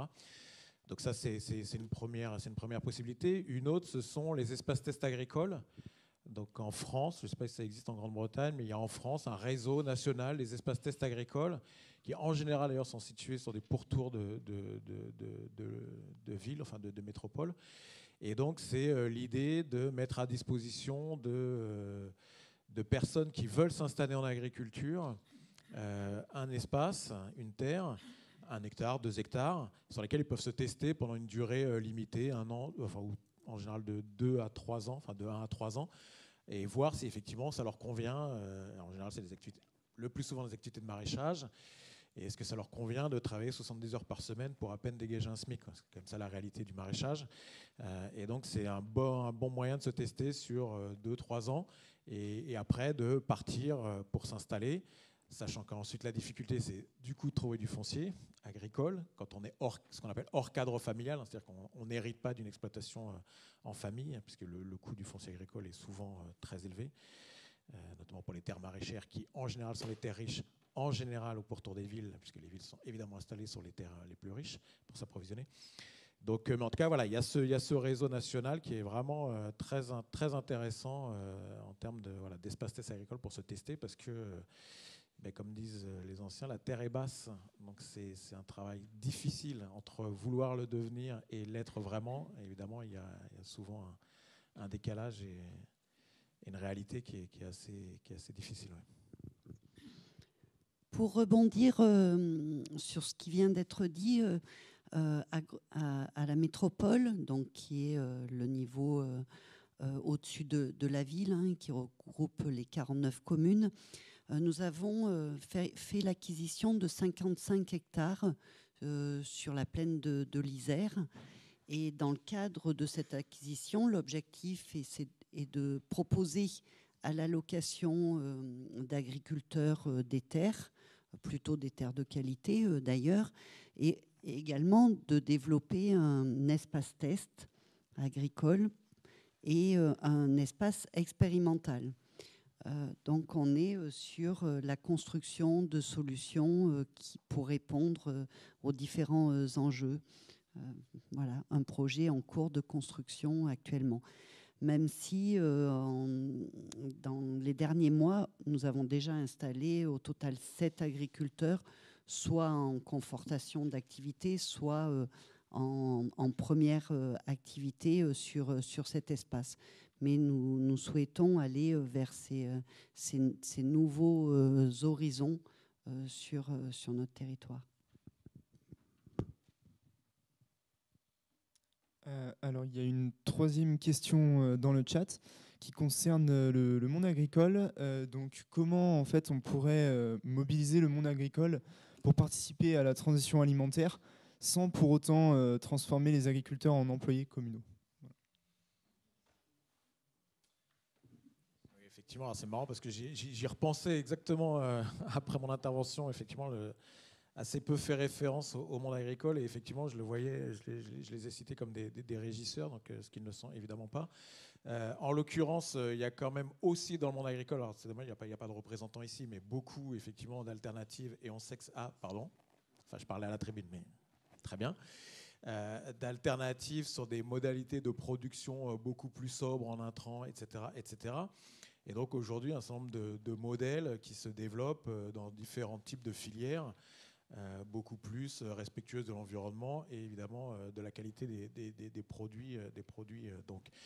le monde agricole évidemment s'organise hein, autour de ça, des syndicats, des interprofessions pour réformer des pratiques dont on sait qu'elles peuvent être dommageables à la fois pour l'environnement et la santé des, du public. évidemment sans devenir nécessairement des régisseurs municipaux, loin de là.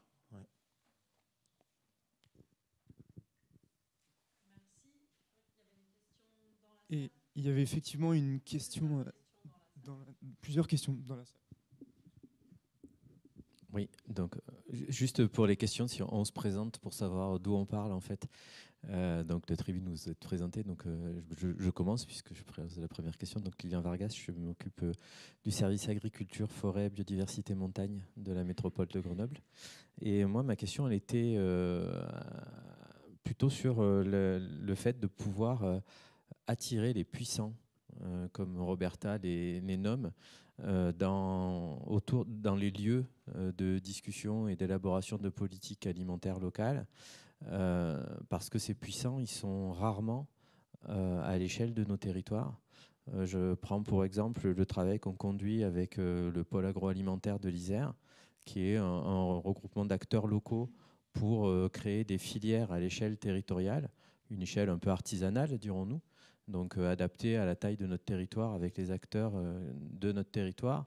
Mais euh, quand la politique des grandes et moyennes surfaces se décide dans le top management de Carrefour, de Leclerc, de ces gens-là, on les a jamais autour de la table. Et les directeurs de magasins avec qui nous on travaille nous disent que, ben, malgré toute leur bonne volonté, ils sont quand même dépendants du système des quatre grandes plateformes euh, de livraison euh, au niveau national, que, en fait, ils n'arrivent pas à sortir de ça. Donc, euh, comment peut-on toucher, sensibiliser ces puissants-là, les Big Five de l'agroalimentaire, les top management de la grande distribution Enfin, ces gens-là, je ne vois pas comment, nous, au niveau local, on, peut les, mobiliser. Quoi. Ça, c'est, en fait, c'est une question qui se pose, euh, et j'ai un peu dire partout, en fait, même à l'échelle internationale. Et ça a été décrit dans pas mal d'initiatives locales, y compris en Amérique du Nord, où effectivement, à chaque fois, le milieu, la transformation et la distribution est largement absente, alors même que effectivement, ce sont les plus puissants qui, en l'occurrence, façonnent euh, littéralement l'offre alimentaire. Et donc, on n'a pas non plus les, big, les, gros euh, de la production agricole. Euh, les, industriels agricoles, euh, on les a pas non plus. Hein, les très grosses COP, euh, ils viennent pas. Donc voilà, c'est. Donc c'est toutes les limites de l'exercice. On parlait effectivement tout à l'heure des limites de toutes ces innovations territoriales. C'est qu'effectivement, pour le moment, elles peinent à embarquer. alors soit parce qu'effectivement, elles sont sur des échelles qui ne sont pas locales, et donc elles obéissent à des, des injonctions plutôt nationales, voire internationales, mais enfin en tout cas nationales. soit effectivement, on se rend compte aussi que c'est des acteurs qui euh, n'ont pas forcément l'habitude, euh, voilà, qui ont des agendas euh, voilà, dans des milieux économiques qui voilà, ne conviennent pas à des agendas plus politiques où on va se réunir le matin, l'après-midi, alors même qu'en général, ils ont autre chose à faire. Ce qui ne veut pas dire que les politiques n'ont pas autre chose à faire. Mais en l'occurrence, il y a peut-être aussi des adaptations des agendas des uns et des autres. Mais ça reste une énorme difficulté, alors même que alors même que les modèles économiques sont en train de changer. C'est-à-dire que, tout cas, du, la transformation, évidemment, on pâtit d'une énorme concentration et de perte d'outils de, transformation dans les territoires. Encore que là aussi, ça revient. On voit des abattoirs. Il y a un réseau euh, national des abattoirs paysans pour revivifier, revitaliser les abattoirs qui existaient sur les territoires. Donc là, on connaît des endroits, par exemple à Die, euh, dans le Diois. Euh, Haute-Vallée de la Drôme, où ben voilà, les, ateliers de transformation se sont remis en œuvre et du coup sont là, impliqués dans le, dans le projet élémentaire de territoire. Euh, mais aussi, on sait que le modèle de la grande distribution de l'hypermarché, en gros, est mort. Et ça, on le sait depuis une dizaine d'années. L'idée qu'on puisse, dans un même lieu, acheter une machine à laver, euh, un tourne-disque et, euh, des carottes, en gros, ce modèle, a priori, est plutôt mort. Et, on voit aujourd'hui les enseignes réinvestir les centres-villes. Les centres avec des plus petites, unités pour toucher un, public directement en ville.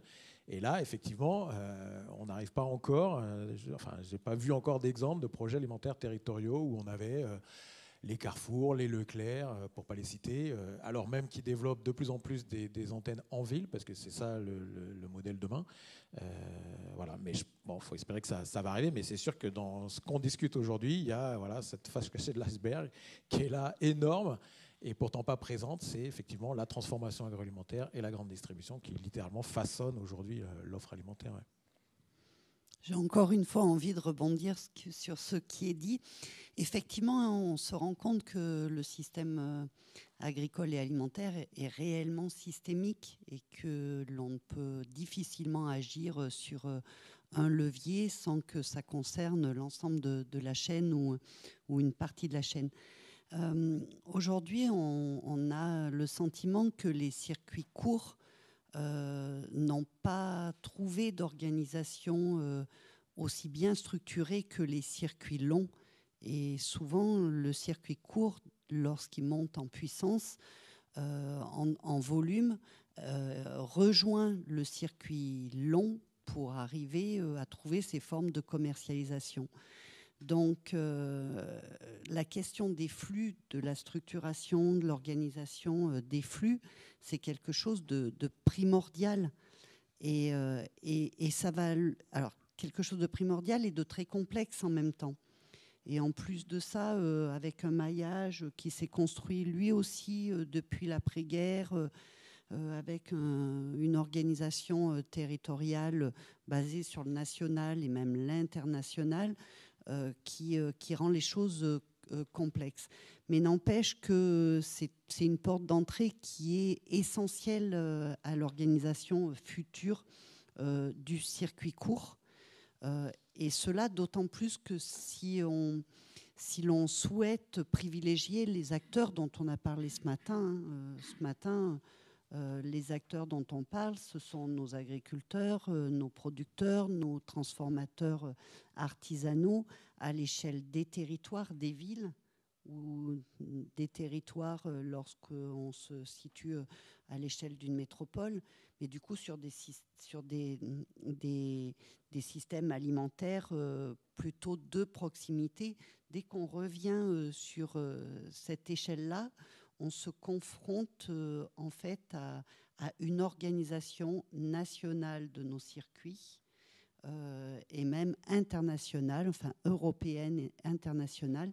Et là, euh, il y a aussi euh, un, travail de réflexion à avoir. Donc, j'ai apprécié tout à l'heure le, tramway cargo, par exemple, mais on a tout un champ à découvrir.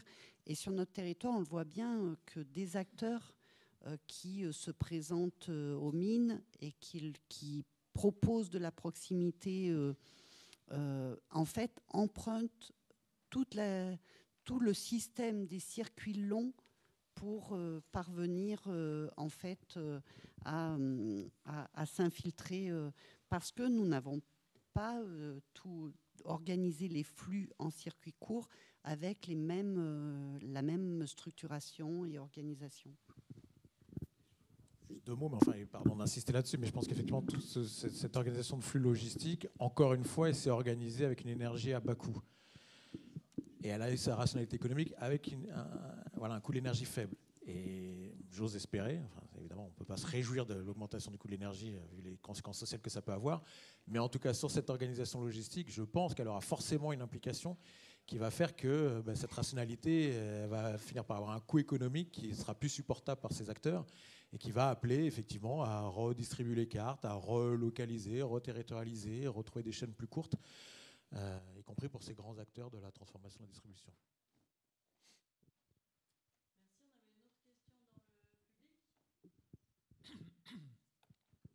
Pascal Denoli. Pascal Denoli, je suis agriculteur et président du pôle agroalimentaire pour ce qui est de ce qui nous intéresse aujourd'hui. Beaucoup de choses ont été dites qui parfois agresse un peu ou irrite au moins l'oreille de l'agriculteur. Euh, l'agriculture au sens urbain, l'agriculture urbaine telle qu'elle a été dépeinte, me paraît être euh, une piste d'espoir et un risque de leurre. Vous l'avez dit, Damien, tout à l'heure, euh, croire que l'agriculture urbaine va nourrir la ville, c'est fort risqué, en tout cas, de le croire. Par contre, ça doit être un lieu de rencontre, d'intrication entre des mondes qui ont appris à s'ignorer. Et donc, euh, que nous favorisions euh, ce lieu de rencontre, qui, à mon avis, doit être complètement inclusif et ne pas être envisagé avec euh, des salariés spécialistes que la ville salarie. C'est pour ça que l'exemple que tu as cité, Salima, personnellement, je suis un peu dubitatif.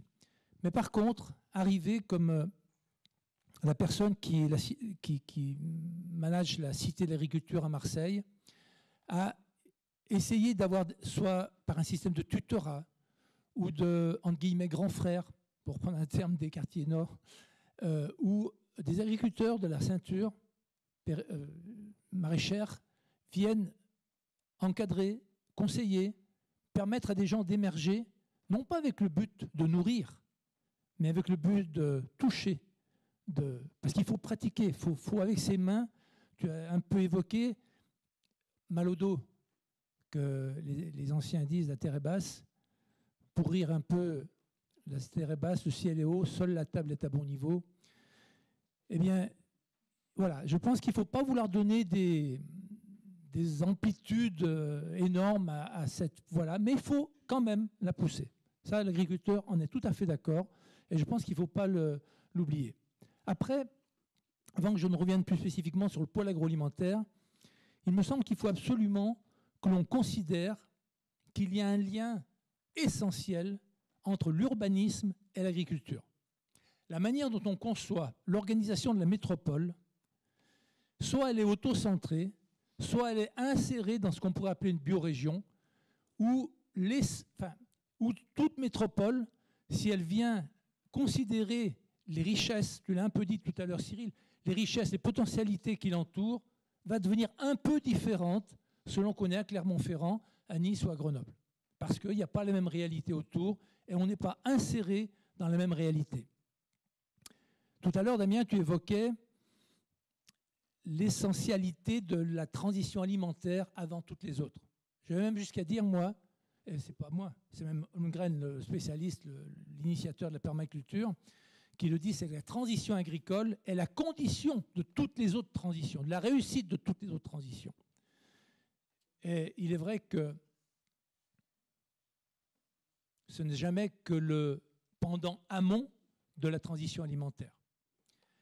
Enfin, je voudrais dire que quel que soit le système, tu as parlé des systèmes dans lesquels on doit basculer, aller, qui sont aujourd'hui pratiqués comme des avant-gardes, il faut à mon avis qu'ils soient concevables, praticables, soutenables et réparables, je tiens beaucoup au quatrième terme, réparables, par ceux qui vont le vivre. C'est-à-dire que si ce système est pensé et appliqué, c'est mort. Il n'y a pas de pensée en haut et de pratiquer en bas. Il faut donc tout à l'heure, tu as dit, euh, euh, Lilian, l'importance que les grands décideurs, que les puissants, as-tu dit, descendent, puisqu'ils sont en haut, soi-disant, en tout cas, ils sont dans la concentration et non pas dans l'horizontalité, mais viennent parler et vivre avec ceux qui euh, pratiquent, sont au cœur. Et ce n'est pas seulement un maire, ou, mais, mais c'est voilà, vraiment de la co-construction et quand je dis réparable, ça veut dire qu'on est capable de reprendre ce qu'on a cru bon pour éventuellement. Il y a une impasse, c'est pas grave. On a essayé, mais on va rebâtir à côté. Et ne pas lâcher le fil. Ne pas se dire on est dans la. Hein. parce que des exemples de cet ordre-là, j'en aurais des dizaines à vous citer avec mes 40 ans d'expérience. Hélas, 40 ans. Enfin, pour ce qui est du poil agroalimentaire, mais quand même, Cyril, tu es un petit peu injuste, vu que je voyais l'air un petit peu contrebalancé que Damien avait lorsqu'il évoquait la SAFER. J'en ai été président pendant 30 ans dans ce département. Et tu sais, Cyril, la collaboration très positive que nous avons eue, notamment sur la ferme que tu évoquais. J'aurais aimé que tu, le signales. Pour ce qui est du poil agroalimentaire, ce travail partenarial, et non pas issu de l'agriculture pour essayer d'agréger les autres, mais partenarial où on a, on a, dans la période de gestation, eu des directeurs de magasins, GMS, eu des responsables de, de, grosses boîtes de transformation, euh, Sodial pour, euh, par exemple, ou, Oxiane à la coopérative agricole du département, euh, on les a eus à la conception. On les a un peu perdus dans la réalisation. Et encore plus dans la mise en œuvre. Aujourd'hui, l'interface commerciale qu'elle pour l'agroalimentaire tente euh, d'agréger, d'utiliser les, les, ce que tu as dit, euh, l'hypermarché c'est un peu capoute, ou du moins ça va glisser lentement vers la mort. Et il y a tout, ces, tout ce réseau, tout ce nouveau maillage auquel, par nos commerciaux, on essaie d'accrocher, et on accroche d'ailleurs, il faut bien le dire. Mais la grande difficulté que nous voyons aujourd'hui, c'est l'adhésion, y compris des agriculteurs, qui ont un petit peu de peine à concevoir que ce système du milieu entre les grandes filières et le circuit court peut être une voie de demain. C'est y compris, c'est ça qui, moi, me gratte un peu plus la tête. Enfin, sur l'abaissement des coûts que nous devons avoir pour rendre quand même pertinent et ne pas amener l'alimentation à un coût trop élevé aux citoyens, nous avons, nous, dans nos distributeurs, tout en vélo, qui est une structure qui n'est pas que grenobloise d'ailleurs, mais euh, qui nous permet sur l'hypercentre de baisser et en tout cas de, nous insérer aussi dans des zones de à faible émission. Voilà un petit peu tout ce que je à dire, même s'il y en a encore des, tombeaux, mais je ne vais pas monopoliser.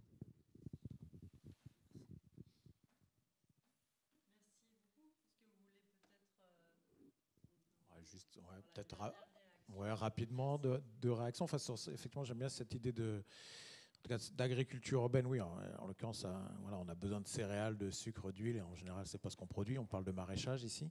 Mais euh, moi, j'avais visité une ferme urbaine à, Genève, et il disait, ben, nous, on a une agrafe en ville entre le monde, rural et le monde urbain. Et j'aimais bien cette image d'agrafe. Je trouvais ça très, voilà, très, très parlante. Et puis sur le sur l'urbanisme, eh ben effectivement, alors nous, euh, encore une fois à Montpellier, Euh, il se trouve qu'il y a le SCOT qui avait été réalisé euh, au milieu des années 80 en fait, euh, par un grand, un architecte urbaniste à l'époque, en fait, avait envisagé l'idée de, regard inversé. on a une particularité à Montpellier, c'est qu'en fait, il n'y a aucune tradition industrielle. Donc, sitôt que la ville termine, c'est les vignes qui commencent. Donc, il n'y a pas de banlieue industrielle, il n'y a de, il a pas de, voilà, il a pas de, d'intermédiaire entre la ville et la vigne. C'est vraiment la ville s'arrête et c'est les vignes qui commencent. Et du coup, ça a énormément surpris cet architecte urbaniste qui avait rarement vu des villes de, cet endroit-là et qui a du coup imaginé le regard inversé où du coup le regard se portait pas sur les zones euh, urbanisées euh, euh, et construites, mais sur toutes les zones justement non construites, non urbanisées, donc les zones à la fois végétales, écologiques et les zones agricoles, et du coup de renverser le regard et de regarder le territoire métropolitain euh, comme un archipel de, euh, zones, agricoles ou, naturelles.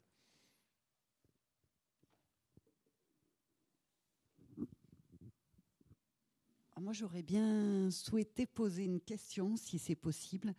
Euh, c'est quelque chose, c'est une question que je me pose souvent à moi-même. Donc là, j'aurais, peut-être des réponses ou peut-être que ça permettra de les avoir plus tard. Euh, quand euh, on, a tendance à dire que notre système euh, agricole et alimentaire s'est beaucoup modifié après-guerre. Et peut-être dans la salle, comme moi, certains ont passé leur enfance avec un, système agricole qui était encore assez peu modifié, hein, où on allait à l'épicerie du coin acheter, que le lait était livré à la porte de la maison, avec le lendemain les œufs, avec le panier de légumes, avec du troc euh, entre les, les potagers euh, des uns et des autres. Enfin, un système avec très peu de, déchets et un peu le système euh, que l'on semble avoir envie de, retrouver aujourd'hui. aujourd'hui hein. Euh, et, du coup, je, me pose cette question entre ce système agricole qui est apparu après-guerre, qu'on a poussé jusqu'au bout, et notamment à partir des années 70 puis 80, et l'arrivée euh, des, flux de commercialisation et de, logistique importants autour des, grandes surfaces. Est-ce que est-ce qu'on peut le mesurer euh, dans, dans ces perspectives à ce qu'il existait avant ce, avant ce système. C'est-à-dire que est-ce que si on revenait complètement au système d'avant-guerre, est-ce qu'on serait euh, euh, beaucoup mieux, enfin beaucoup plus satisfait, qu'on serait beaucoup plus vertueux, qu'on répondrait euh, à, toutes nos, questions? Ou, est-ce qu'il nous manquerait encore des choses? Et quelles choses? Enfin, parfois, je me dis, est-ce que la solution, enfin, est-ce que certaines solutions, elles se trouvent pas entre ce passé et, ce, et, cette modernité d'aujourd'hui euh, voilà, dans, dans, ce qu'on appelle les, les, formes alternatives, est-ce qu'on ne les trouve pas en comparant ce passé et ce. Euh, ça, c'est intéressant et parce qu'effectivement, c'est vrai que j'ai fait pas mal d'allers-retours euh, présent-passé avec des choses effectivement dans lesquelles on pourrait puiser. Alors ensuite, voilà, il faut bien aussi euh, considérer qu'on parle, enfin, le système alimentaire, il n'est pas sous cloche. Voilà, le système alimentaire, il interagit avec la société en général. Et, et au-delà de se demander comment on mangeait et comment on s'approvisionnait avant-guerre, on peut aussi se demander comment est-ce qu'on vivait plus généralement avant-guerre. Euh, donc c'est sûr qu'il y a quand même un certain nombre de, phénomènes d'émancipation qui se sont opérés, euh, et très, pour le coup très positifs. Euh, la place des femmes dans la société, pendant citer que celle-là, et un certain confort dans la vie que, que, la vie moderne quand même nous, nous, a apporté, et que effectivement cette, cette industrialisation du système, elle est aussi elle est de pair avec ces évolutions sociétales et favoriser ces formes d'émancipation et euh, où on a aujourd'hui moins de temps, ou en tout cas on en prend moins pour euh, cuisiner, pour faire ses courses, etc. etc.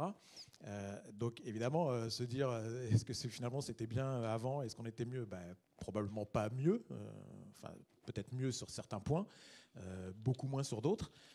on a parlé de la pénibilité du travail de l'agriculture. Aujourd'hui, évidemment, il y a un vrai problème de vocation et de transmission de gens euh, pour aller sur des travaux euh, pénibles, alors même que tout a concouru dans l'évolution, en tout cas de la modernité, de finalement de sortir de ce statut d'agriculteur qui est évidemment très, très il faut, le, il faut le, respecter éminemment, mais enfin qui peut aussi être extrêmement pénible physiquement. Et l'histoire de la modernité, de la modernité c'est aussi l'émancipation de, de, ce travail-là et de la survivance sur, sur des petites parcelles.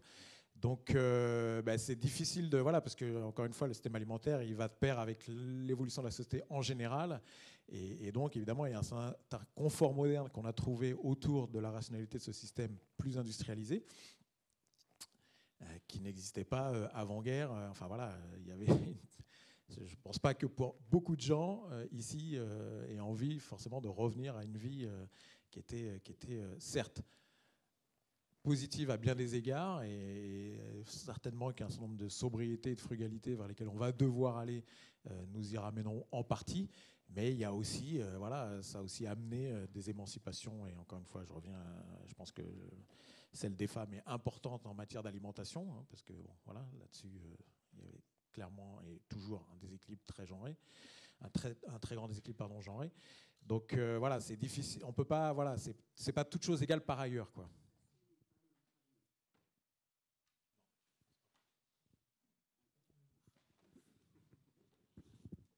Pour poursuivre, pour poursuivre Damien, quitte à être un peu contre-intuitif, il est clair que les désherbants ont libéré les femmes. Qui est-ce qui piochait les carottes, le maïs ou quoi que ce soit? C'était les femmes. Donc, euh, ok pour euh, qu'on mette un peu le désherbage de côté. Lorsque j'ai mis moi-même le désherbage de côté, c'est lorsque j'ai commencé à bien gagner ma vie avec mes légumes ou mes fruits et que je me suis dit, tes melons, au lieu de désherber, tu vas plus les biner et ne faire qu'éventuellement, si tu es dépassé, un petit coup de. Voilà, très ponctuellement. Mais c'est pas. Donc, faut jamais s'abstraire de tout ça. Alors, la question que je n'ai pas posée tout à l'heure, et au-delà de mon intervention, c'est, quand même moi ce qui me taraude c'est quels sont les leviers Les lieux de pouvoir, on les a identifiés. Mais quels sont les leviers pour, si ce n'est basculer le monde, de système de ce monde-là, l'alimentaire, etc., mais au moins le bousculer qu'on arrête d'être simplement dans l'interstitiel, comme j'ai conscience que ce que je fais pour l'agroalimentaire, c'est un peu interstitiel, et que tant qu'on n'arrive pas, mais, euh, on fait un peu la double intervention avec, euh, voilà, qu'est-ce qu'on peut. Euh, je prends l'exemple de Belo que tu as cité. 2% du budget de la ville.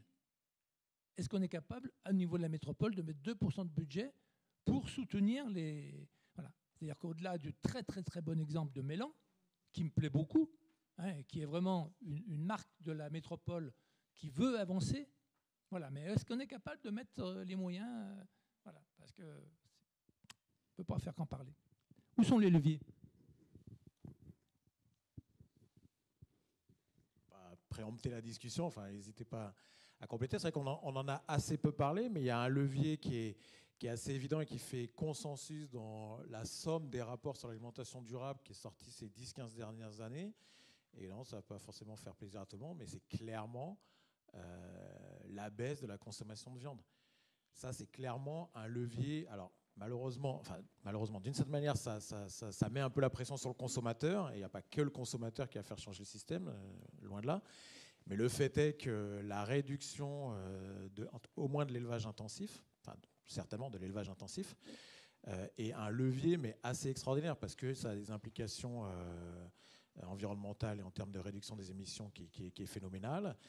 Euh, c'est possiblement aussi euh, retrouver des formes d'élevage plus extensives avec la reterritorialisation euh, des protéines pour, les, pour, le bétail. Et in fine, un gain en santé pour les, pour les consommateurs, puisque en fait, quand on sait que les besoins nutritionnels d'un adulte moyen sont de 200 grammes de viande rouge, on se dit qu'effectivement, on est bien souvent largement au-delà. Et donc, il s'agit de, effectivement de réduire sa consommation. Très, voilà et, pas forcément euh, d'imaginer des alternatives protéiques. Enfin, il suffit de diminuer sa consommation de viande parce qu'on pense toujours, oui, alors par contre, on va le remplacer? Ben, pas rien, en fait. On n'a pas besoin de manger plus de protéines. On est surprotéiné dans nos, dans nos régimes alimentaires, nous, chez nous, en France. évidemment que c'est inégalement réparti. Hein, on parle de moyenne euh, très générale.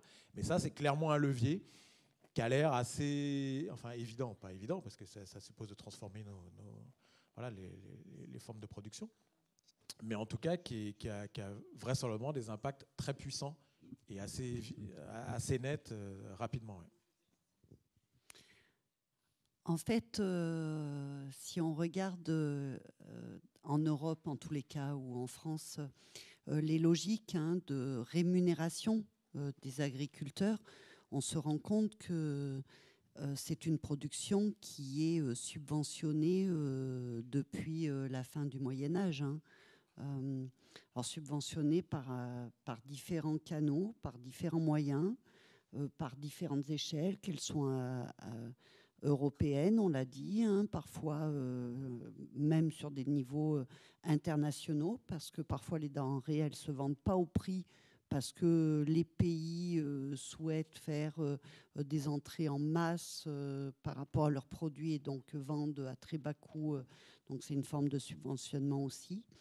Euh, euh, l'ensemble des territoires, euh, donc en France, hein, que ce soit le niveau régional, le niveau départemental, le niveau métropolitain, parfois le niveau ville, même le niveau village. Combien de villages en France?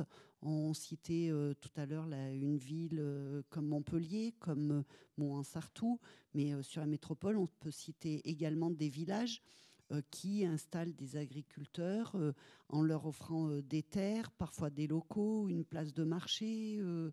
enfin, l'aide, le subventionnement de l'alimentation est quelque chose de réel et de bien plus important que ce qu'on croit à tous les niveaux. Après, il y a sans doute une forme de déni face à ce subventionnement, une, une difficulté à accepter cette réalité, d'où elle vient. On va peut-être pas rentrer dans ces niveaux-là, mais n'empêche que c'est peut-être une partie euh, de la réponse si on arrivait à savoir pourquoi on, a du mal à regarder en face euh, le montant de subventionnement de l'alimentation euh, et, et, et, pour qui qui est-ce que ça protège, qui est-ce que ça condamne, condamne enfin, euh, met en difficulté. Je pense que là, on, a, euh, des, solutions à aller chercher de ce côté-là. Mais en tous les cas, euh, on se rend bien compte que pour fournir une alimentation pour tous aujourd'hui, avec des prix moyens calculés sur un niveau de revenu moyen, on va chercher du subventionnement que ce soit à travers de l'aide alimentaire, par rapport à des subventions de la PAC, par rapport à des subventions de toutes les échelles, euh, même parfois euh, sur la limitation bah, du prix de TVA en France sur les produits de, nécessité, enfin à chaque niveau. Et ça, ça pose une réelle question, puisque ça pose la question de dire que la nourriture n'arrive pas à se financer à sa hauteur, puisque même les agriculteurs aujourd'hui, notamment en France, et je pense que c'est pareil dans tous les pays européens, on voit bien que ce sont aussi des populations très fragiles qui arrivent peu à se nourrir et peu à dégager des ressources financières également. Donc oui, ça, interroge. Et là aussi, je crois qu'il y, a, réellement des, des questions à se poser. Et ça renvoie sur l'idée de la sécurité sociale alimentaire.